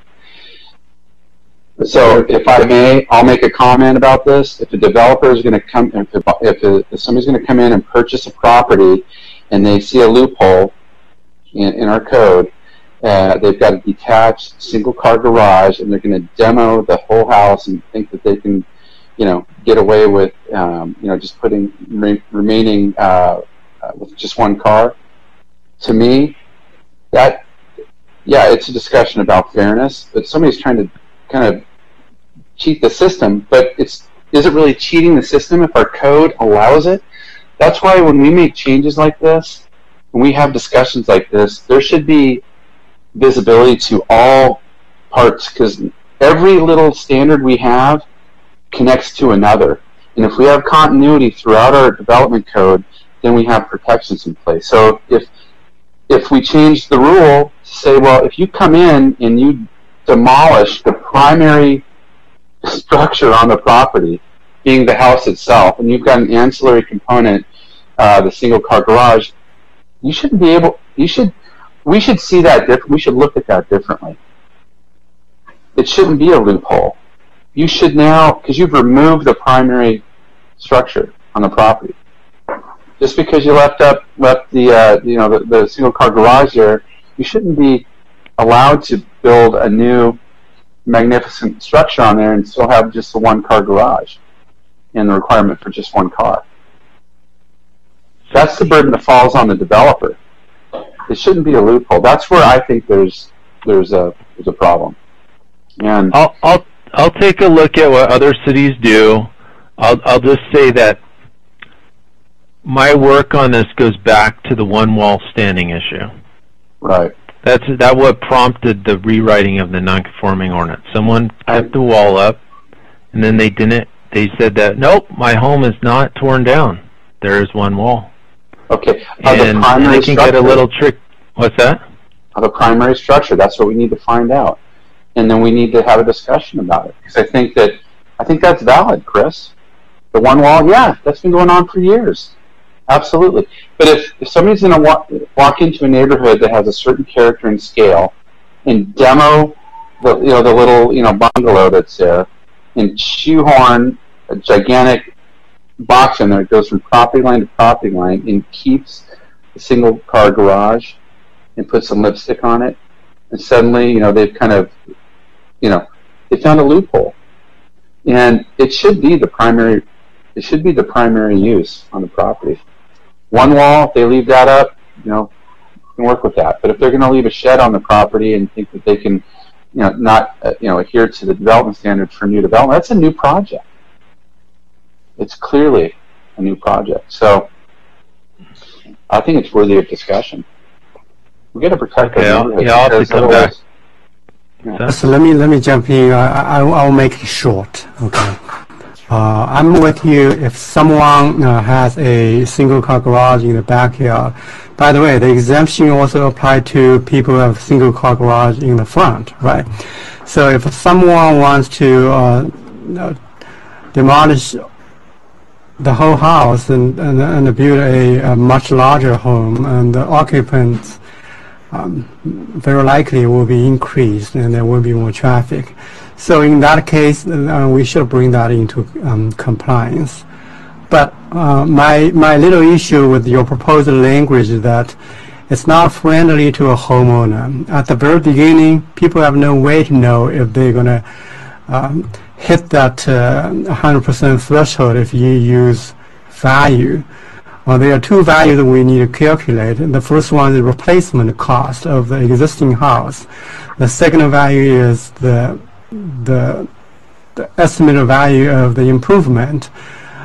Unless those numbers are published by our building department in a very simple way, then people need to jump into the hoop and they need to design to certain points so they can hire some estimator to get an idea whether they will be will be required to add a second parking or not and that's not that's not good. I, I, I like the I like homeowners or people to know at the very beginning uh, whether they would be required to have a second parking space or not. So either we have a very simple method of evaluation of existing house and the, the, enhan- the improvements. Or we just use some simpler metric such as floor space. Okay, I'll have to come back to this one. I'll think about it. Uh, oh, Commissioner Wu, are you still? I think I have a delay on my. Are you I'm, still? I'm still here. Oh, okay. Are you done commenting? I'm done. Okay. Uh, so the next item relates to demolition of accessory structures and when they should be brought into compliance.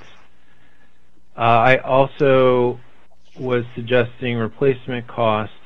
In this case, I I have a stronger opinion about it because of all the complexities that go on with accessory structures. You're talking about walls, decks, patio covers, um, arbors, gazebos.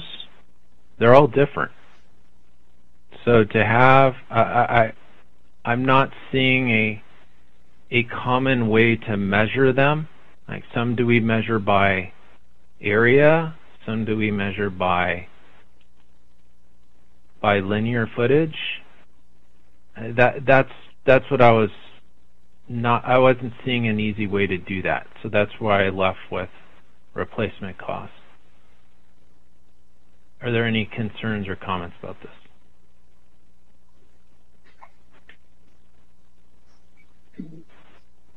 My comments the same. Really, it's just we need to find, uh, you know, we need to find that way to to measure that area. You know, I think that's because that that's something that we can do. We can measure the area if it's square inches, square feet, whatever it is. Um, it seems to be a more logical approach to, to this. It, just from my perspective, the replacement cost, Chris, help me here. I feel like we're we're we're delving into an area that's outside of our purview. You know, what it costs to replace something um, changes from person to person. You know, evaluator to evaluator, but the physical, you know, characteristics of something are something that you know, we you know we look at as as a commission. We look at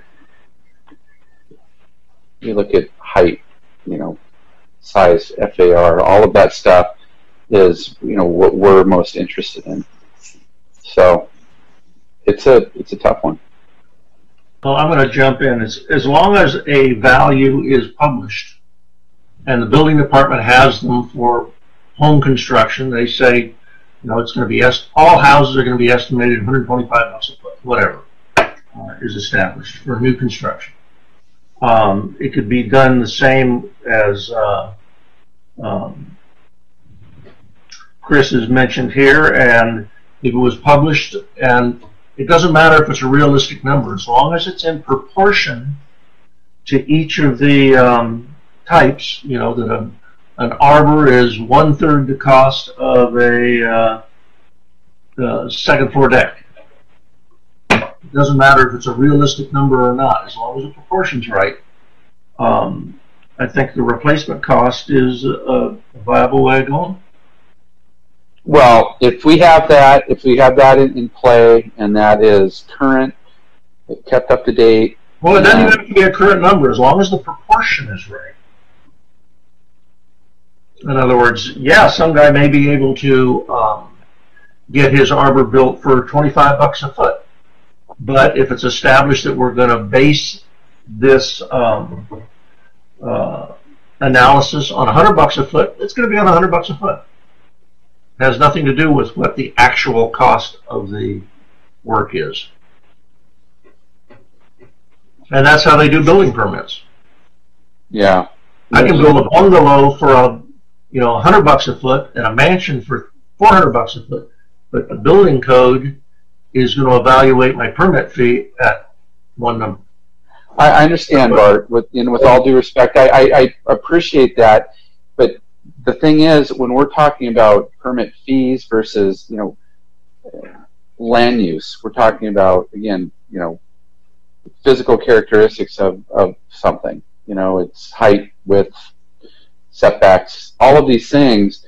You know, we have to have some sort of a gauge, and if that's the way we're going to do it, I don't know. I, it's just to me, it's always been it's been just ripe for for error because of you know lumber costs and copper costs and steel, all these things that fluctuate, but, but we don't always see uh, you know a, a, an update to to those published standards. We don't see that.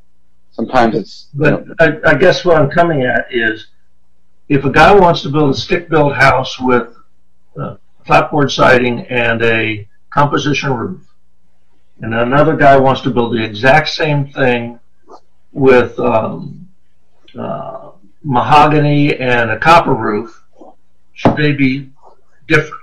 No. Should they pay differently? No, not because one guy's using nice materials and the other guy's not. Uh, it should be on the size of the structure. With the percent of cost? I would think I think uh, I I would uh, support the value approach if we have a published schedule. For example, the baseline number it would be for a enclosed space per square foot, whatever that number is, and the building department can update it annually or every couple of years. Call it a hundred. Uh, covered outdoor space, 50% of that um, standalone walls, 25% uh, of whatever that is. So that gives the people a very clear idea at the very beginning, you know, whether they require they would hit that threshold or not. It's the same logic they were applying to the house in, in the paragraph in front. It's kind of a fairly standard way, like Bart brings out, that the building department comes up with. Uh, for when you demo the whole house with this extension. So that come up with a fairly simple way to do it. And keep it simple is the way to go. When you get into this non-conformance chapter, when we updated it eight or ten years, ago, we took 16 hours with Chris Wright trying to work our way through it. Remember that, Bart? Yep. Oh yeah. But if we want to use, sure he does too. If we want to use the same baseline number for the replacement, for the existing house replacement, and for the proposed improvement, then the value approach would be the same as the floor area approach. They're the same thing. Hey, you just say the value is one dollar per square foot, and the proportions are still the same. If that matches, that's ideal. But I just want needs to match. Just apply the same model to something else. Pole signs. Okay. If that if that applies there, and it works, then great. Then we use that model. I think we should use that model consistently. So there's you know there's continuity in our in our in how we regulate uh, non-conforming. So, uh, excuse me. Um, so it's a few minutes after seven. Um, I know we've been talking about this issue for a while. Um, uh, Chris, if you've got enough from us on this, we're going to have to come obviously revisit, you know, the, you know, a, portion of this um, at another study session. Um, but if you've got enough from us, then maybe we could wrap that wrap this up um, for today. And but you you tell us if you need anything else from us. I don't think I need anything on this item. I I do want to ask Gabriel about the timing of the meeting and should, uh, whether time is wrapped up to discuss any other items. Yeah, um, Chris, you might want to lay out how much more you need to cover and how much time you think it's going to take to cover that because there's also the accessory dwelling unit section. And we don't have the regular plan commission meeting at 7 o'clock, so we could uh, continue, uh, but I would recommend you know, to the commission that we think about that timing as well, if you're willing to go past 7 o'clock. I, I only need 10 minutes to go over the next item. All right. So why don't we continue to uh, 7:20? Plan on being here till 7:20, and um, Chris, we'll keep moving forward.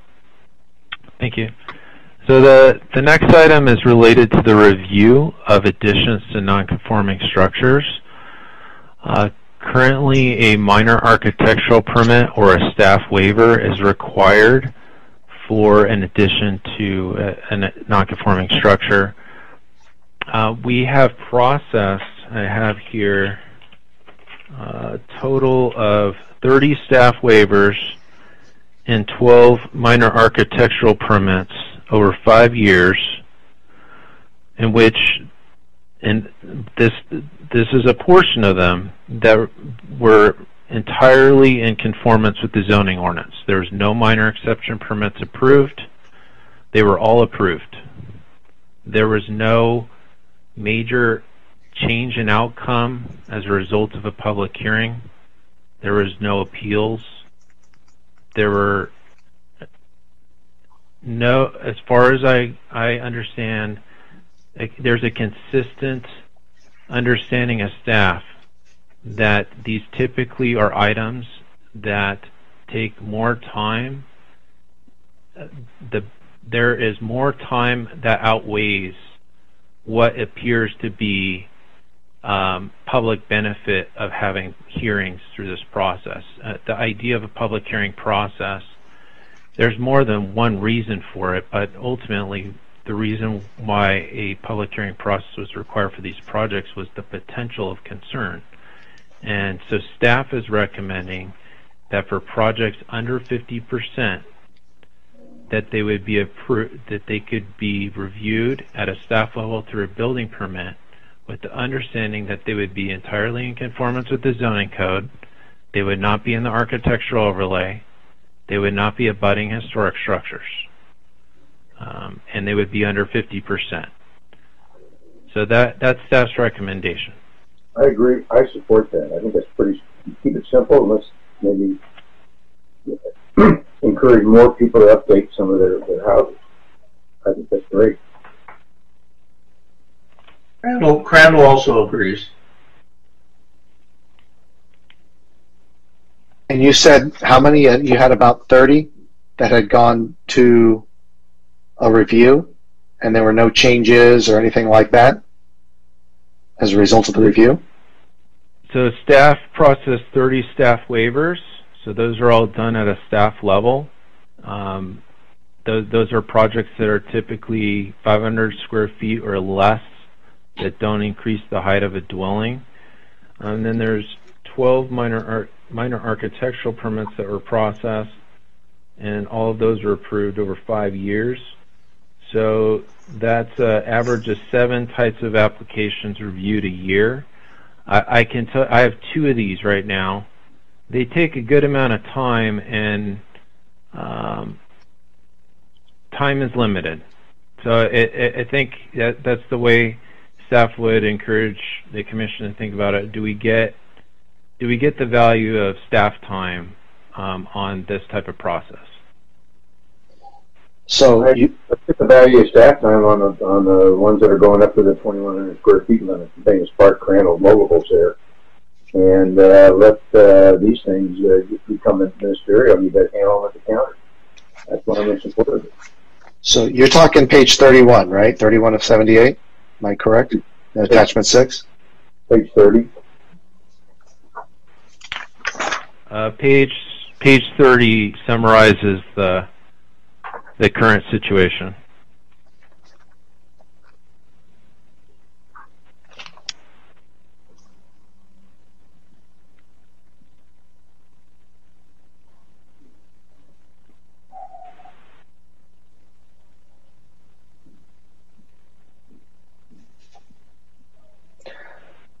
I'm just wondering. I mean, I, I,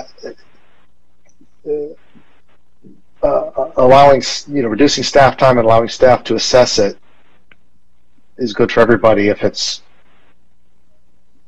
it doesn't produce problems. I'm just trying to get an understanding of of what we've seen. And you're saying in the last five years there have been 12 minor architectural permits, if I'm understanding correctly. There have been 12 minor architectural permits that have gone to planning. And 30 staff waivers, 42 total. 12 minor architectural permits that did not involve any uh, minor exceptions or involved architectural overlay or historic structures being near historic structures. So strictly additions to non-conforming structures with projects that entirely conform to the zoning ordinance. And you've had 12 of those? Yes. Okay. And there were no issues with them, no problems, no special considerations that were needed? My understanding is no issues that are germane to the findings. Like there are there are at times people saying that they didn't like that a project blocked their view or they didn't like where a window was and there was uh, an issue about a light on a project, something like that that wasn't directly tied to the findings. And there are we don't have a view protection ordinance. We don't have regulations that control where a window can be uh, in relationship to another window. We don't have uh, like a lighting issue. We have the dark sky policy and we have lighting standards. So those issues are not directly tied to the findings that are associated with whether someone should be expanding a nonconforming structure in character with the neighborhood and whether it's it's consistent with the intent of the zone. So those sort of findings, staff routinely is able to meet those findings and and consistently wonders why are we working on these? Why are we spending this much time on these applications? Hey, Chris, I, I'm just going to weigh in on this again. I, I, uh, I appreciate, um, I appreciate what our current process does for our community, and you know, Don's point, you know, it's moving projects along, and you know, you throw out a number, you know, whatever that number is, you know, it sounds like it's a healthy progression, and you know, and movement forward. Folks are getting through these pretty quickly, and I I definitely am all about that, and I definitely think that it's it's, it's good to find ways to you know foster uh, improvement to properties and you know and help our help our residents you know, do what they need to do in a way that's not confusing or cost prohibitive or time prohibitive. But in terms of uh, you know continuity and structure to our code, again, you know we, we have the same sort of language in here that talks about the value of a project and 50%. I'm just pointing out another area that is, you know, you know that it's a good it's a good place to start when it comes to tying our standards together, making sure that there's the same sort of set of rules applied to everything.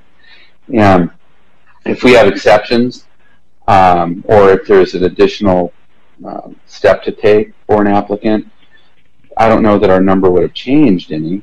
I mean, it's hard to say. So if we had, how many did you say went through last year? Was it 12? Uh, last year we had uh, we had two in 2019, minor okay. minor architectural permits, and one staff waiver. Okay. Well, I mean, would it be any different if we took a closer look at a project that you know there's an extra step? I mean, to have a just a wholesale application to these. I mean, all I'm saying is there should be a discussion on some continuity in our language. If we're going to, you know, based on value here, we should based on value everywhere else. I mean, if it's going to be an expansion of a property physically that breaches that threshold, whatever it is, if it's 50% physical, you know, change to the to the structure or property, then you know, it's subject to it, you know, XYZ set of, you know, um, processes, whatever it is. Yeah, yes, to be clear, what staff's recommending is that if if uh, buildings are expanded 50% or greater, then they must be made conforming. The only exception are single-family residences that are 1,400 square feet or smaller, uh, they can be expanded over 50% up to 2,100 square feet. 20. That would continue to require zoning administrator approval. So that would continue the, the existing process. Okay. That's why I support it. I think it's uh, it moves a lot of stuff through the system, and we can uh, upgrade our our communities and neighborhoods faster. So Yeah. So, so with this, the, you know, the, those are small houses, and I don't see much of a problem with that. What about a 3,000, 4,000 square foot house that is doing a 49% that's a whole different category. change? It's under 50%? What we're Ours saying is- is, Oh, it, uh, my understanding is, is 4,000 square foot house was, is a bit large, but we've got plenty of houses that are, that are big here. Sure. They can expand that by 2,000 square feet and, or almost, you know, 1,999 square feet. And they don't need, you know, they got purely a staff review. They don't need ZA approval. They don't need to come to planning commission. So that's, you know, is that a concern we should have? It's just continuity. It's fairness. I mean, for everybody. Maybe you know, maybe our housing stock is, you know, majority of it is under that threshold, and then we've got you know, uh, you know, we've got a smaller percentage, but yeah, they're they're much larger properties, much larger dwelling units, and maybe our frequency of expansions is lower with those, but their rights should be the same. I don't see any different. I just don't Well- see why. there is there is a minimum, right? I mean, it, it, uh, when you're talking someone who can maybe do nearly 2,000 feet expansion, and they have to go through the same review of someone doing a 500 foot expansion, it starts. It's like, well, they're, you're practically, you know, for some people that's a new house, right? 2,000 feet. They're they're essentially building a new house, and they don't need any review. They don't need any, you know, how does that impact the neighborhood? In 2,000 square feet, how many new bedrooms can you put in? How many, you know, uh, uh, you know, how many architectural changes are you going to have that can affect other places? So, how uh, many, you know, that's, I, I don't, I'm, I'm just, I'm asking the question because it's not, you know, here, what's written here for the size of these structures, it all looks fine. But we've got other size structures where that same percentage is going to have uh, much more, uh, it's going to have a qualitatively different, or could have potentially a qualitatively different impact, even if it's the same percentages. Yeah, and we're That's- talking conforming versus non-conforming, though, just to make sure we, you know, but that's valid. Absolutely. So there should be some continuity there. Absolutely. I'd support this uh, this um, loosening or, or deregulation. Uh, it's going to make it a little easier for people to improve their uh, property.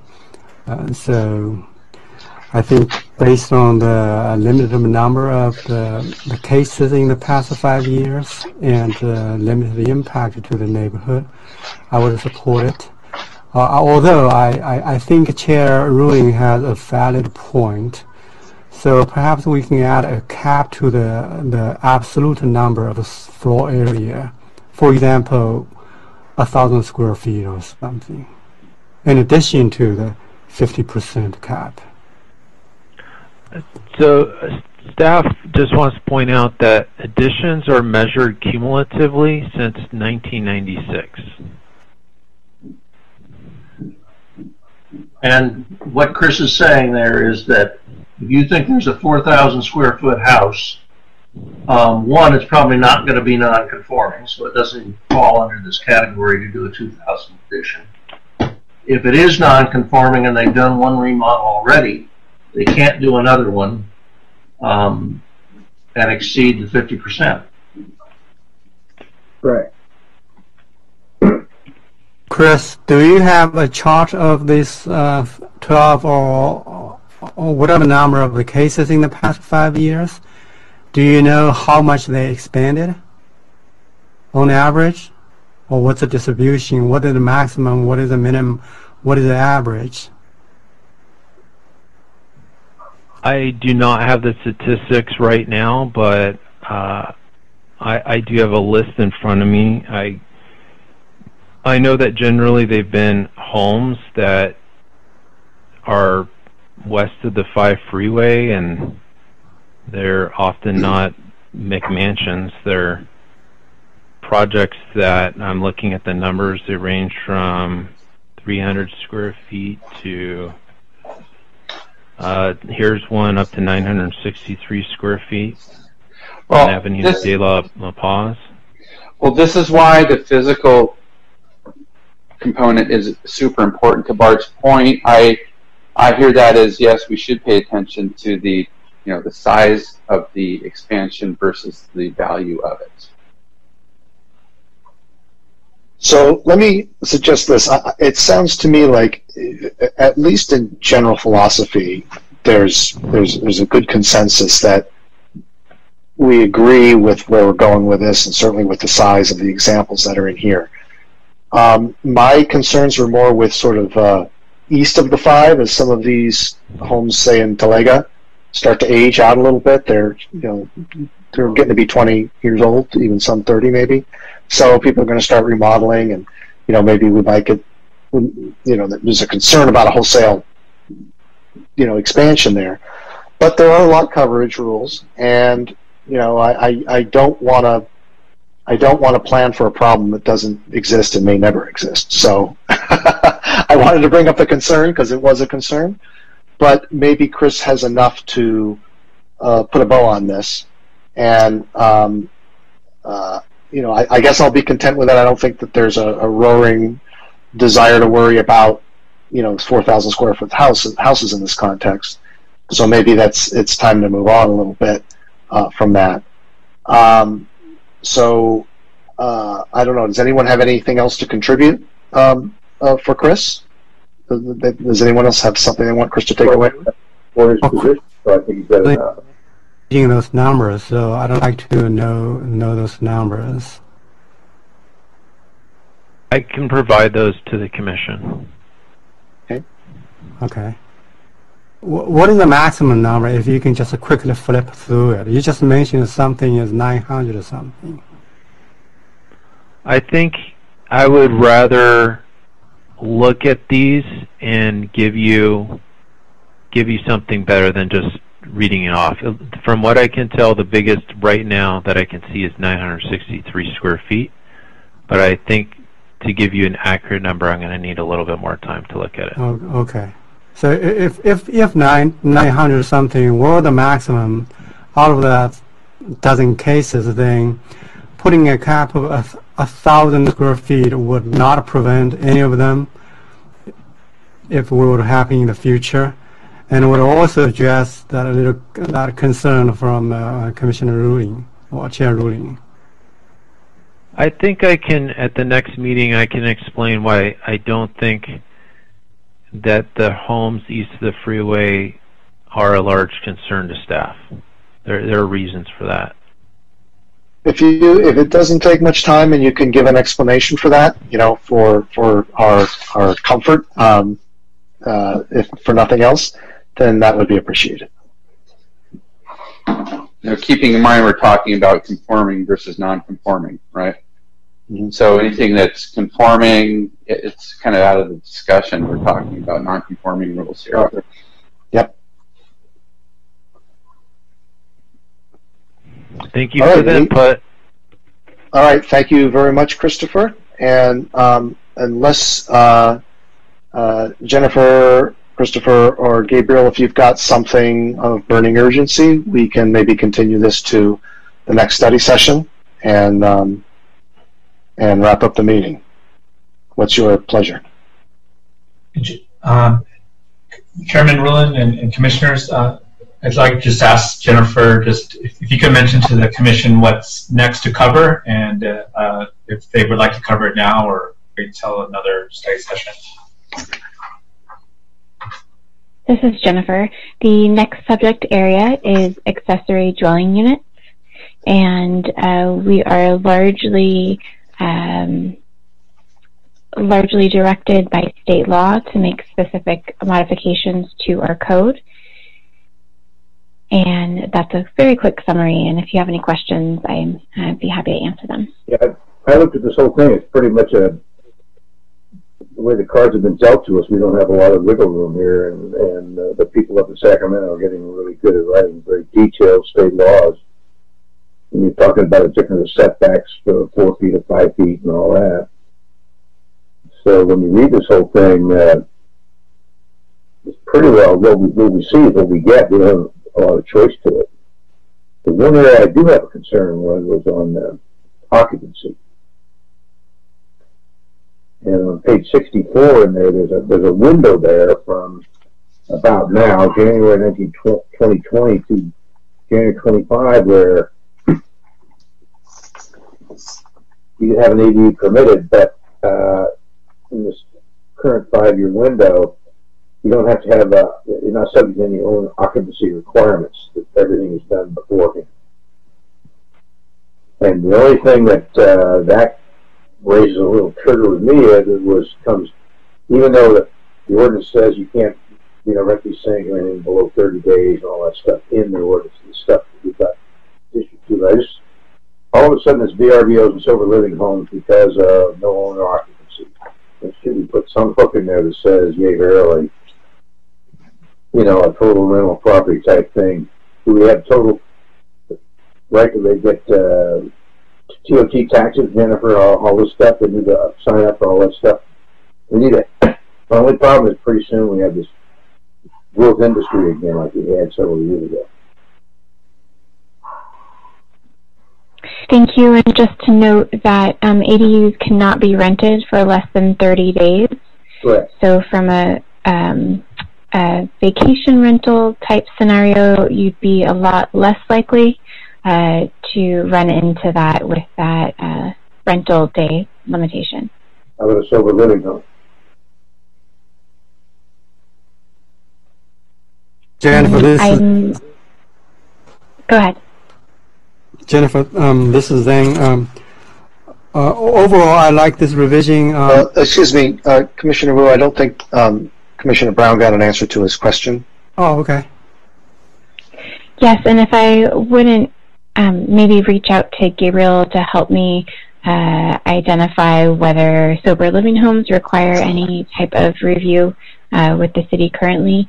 Um, however, if they don't, um, which I believe is consistent with state law, uh, there is no opportunity for us uh, to limit the ADUs to not being the sober living home.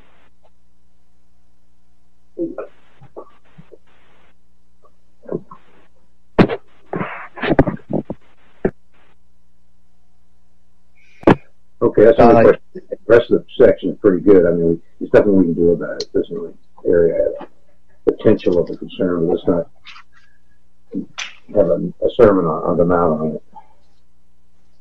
I'm ready to adjourn.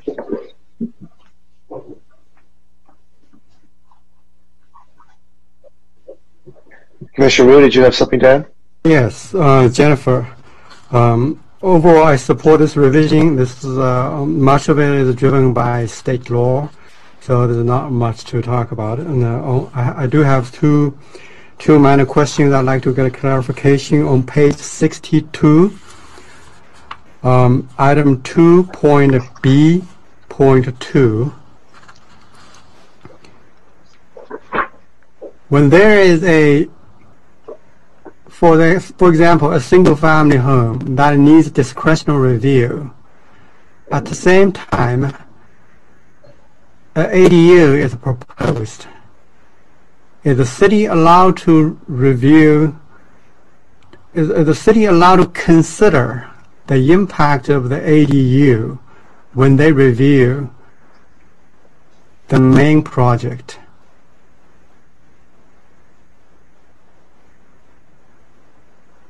Uh, no, uh, it's it's not discretionary. Um, it would have to be processed ministerially. Uh, so, so, giving you a little more detail, um, so if you're looking at a discretionary application for a new single family dwelling, a lot of your considerations are uh, potentially discretionary. There are some more uh, objective standards that you're looking at. So that being said, um, because an ADU or JADU cannot be discretionary, that the impact of the ADU or JADU could not be considered um, in consideration with the new single family dwelling. So the project would be reviewed with or without ADU in exact the same way. Correct. Okay. Um, the second question is uh, on the next page, um, talking about a connection fee Um, what is the current city's sewer fee? Last time I heard about it, it was an exorbitant number. Had the city fixed it? So my understanding is at this time the um, there is a moratorium on charging that fee, and I don't know the status of a solution to correct that, um, but we can definitely find that out and provide that information at a future date. Okay, thank you very much. That's all I have. Anything else on the ADU ordinance, part of the ordinance? All right. Then, um, is there anything else that staff has for us? Gabriel? Jennifer? Uh, that was it for uh, this evening's study session, and I'll let Gabriel jump in if he has anything else. Sorry. Chairman and, and Commissioners, that, that's it. I know that's the second batch of code amendments that uh, Planning Division has to present. Uh, and I, I believe um, we have enough information gathered from the past two study sessions to present something back to the Plan Commission at a future uh, hearing. And uh, there's direction that we received. Um, unless I'm you know, um, unless I'm, I'm misunderstanding. And, you know, I just want to also ask Jennifer if you believe you have everything you need based on uh, this study session and the last study session. Thank you. And I need to um, correct the record. Uh, for the ADUs, we actually did receive a public comment on the proposed uh, uh, ordinance. And it brings up, uh, we received one public written sorry, we received one written public comment, and we've also received some input uh, verbally as well. And the public comment uh, has concerns about whether the ADU can or cannot be in front of the single-family dwelling. And there are some development standards that we carried over from our existing ordinance into the proposed ordinance that relate to whether, um, well, specifically that an ADU cannot be within in front of a single-family dwelling. Uh, the second concern that was raised uh, verbally was whether or not we should continue um, the the difficulty with putting a an ADU over a garage. And so there was concern in previous iterations of our ordinance that uh, a property owner could not put a an ADU over a garage. As our provisions are currently written, it would allow it would prohibit an ADU in front of a single family uh, residence in most instances and would not allow an ADU to be constructed over, uh, a, say, a detached garage. But at the very end of the provision, uh, it does allow an applicant to apply for a discretionary application, such as a conditional use permit, to uh, provide an ADU in either of those instances, either in front of a, a single family dwelling or above a detached garage, which would be greater than 16 feet. Um, so given those two provisions that uh, we did have comments on, uh, would the commission recommend any changes or provide any direction to, for changes to write into the existing code to allow an ADU into in front of a residence or on top of a garage without a discretionary permit, or does it make sense to require a use permit in either of those cases? I see some nodding heads. I, and I, I think people are saying yes, we probably should have a discretionary permit in those in those cases, and, and I would agree. I concur. Great. concurs. Yep, I agree. Great, thank you. Um, so then to answer Gabriel's question, yes, we have everything we need. I, I, I do, Jim, if I may make a comment generally as, uh, as it relates to our code amendments and our focus areas. I wanted to uh, maybe punt this over to Gabriel. I noticed something in our code. Um, is Chris still on the call? Chris Wright? Yeah, I, I'm I'm still in the. Well, Chris who? Where's Chris? Chris. Chris Chris Wright's not on the call. He's, yeah, Chris Wright. Yeah. Not Chichinsky. Okay. Well, Chris, um, he has uh, you know background in wireless, but what I noticed in our in our code is that when we have um, here when we have a uh, we have a, maximum height limit in a particular zone, and we have um, architectural elements that are allowed to exceed that height limit. Uh, we have a situation where if a new use comes in, we that new use is, is able to to um, integrate into that existing structure and exceed uh, a high limit uh, that would normally be um, in place for any new development. And maybe it's a, a, later discussion, but I it just it haunts me every time I see that. And many cities have this where you know, you've got to say, for example, um, uh, a telecommunications service provider would come in and identify a structure in the commercial zone, and there may be a limit to height, but that that particular existing structure is you know 10 feet above the allowable height limit for new structures, and you know maybe there's an elevator shaft or stairwell or steeple element, and new use can be established by attaching to that existing structure that may be over the height limit. At what point do we stop and, and take a look at this we're establishing a new use on a property through you know discretionary permit, conditional use permit, whatever it is, but we're allowing that new use to exceed the height limit for that zone because that particular existing structure has elements that are above the height limit. Shouldn't that new use be subject to the development standards if it was standing alone? It's a new use.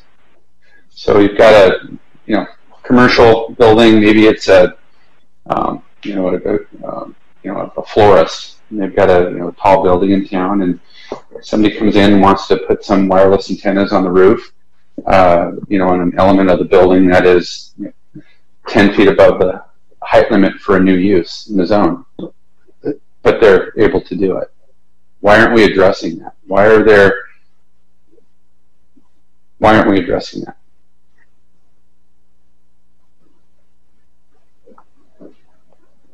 Hey, Gabriel, you're on mute. I haven't gotten to it yet. Commissioner Blackwell, are you referring to a particular section of the code that, that particularly allows that? Uh, are you talking about wireless specifically? Well, it could be wireless, not to not to limit it to wireless, but that would be you know a great example. Yes. I, I uh, forgive me, but um, I'm a little bit concerned because the uh, the it's a public meeting and the agenda for the item was um, uh, you know, was the zoning ordinance Understood. amendments that are specific here. I'm not saying it, that your question is irrelevant, but maybe uh, uh, uh, take it offline or or something like that. Or it's, it's just food for thought. In, in closing, I, I appreciate that, and thank you, Jim, for pointing out. You're correct. I I don't mean to have a full discussion on on something new. I'm just saying that there is there's there's a section in you know worthy of discussion in our code. When we're talking about amendments, maybe this is something that we can consider down the road for further discussion. Yeah. Okay, sounds good. Commissioner Blackwell, I'll, I'll, I'll give you a call just to follow up with you on that. Okay, thank you. Okay, well that that's the uh, only item we have on our agenda, so we can entertain a motion for adjournment. Uh, I'll, I'll go ahead and make a motion to- that we uh, adjourn to the next regular meeting of the study session of Planning Commission will be held on August nineteenth, twenty twenty at six P M via teleconference. Second. Chinsky. Motion by uh, Commissioner Crandall, second by Commissioner Kozinski. I'll call the roll here. Uh, Commissioner Crandall, Aye. Commissioner Brown, Here, aye. Commissioner Kozinski, Aye. Commissioner Blackwell, Aye. Commissioner, Commissioner Wu, Aye. and uh, Chair Ruehlin votes aye.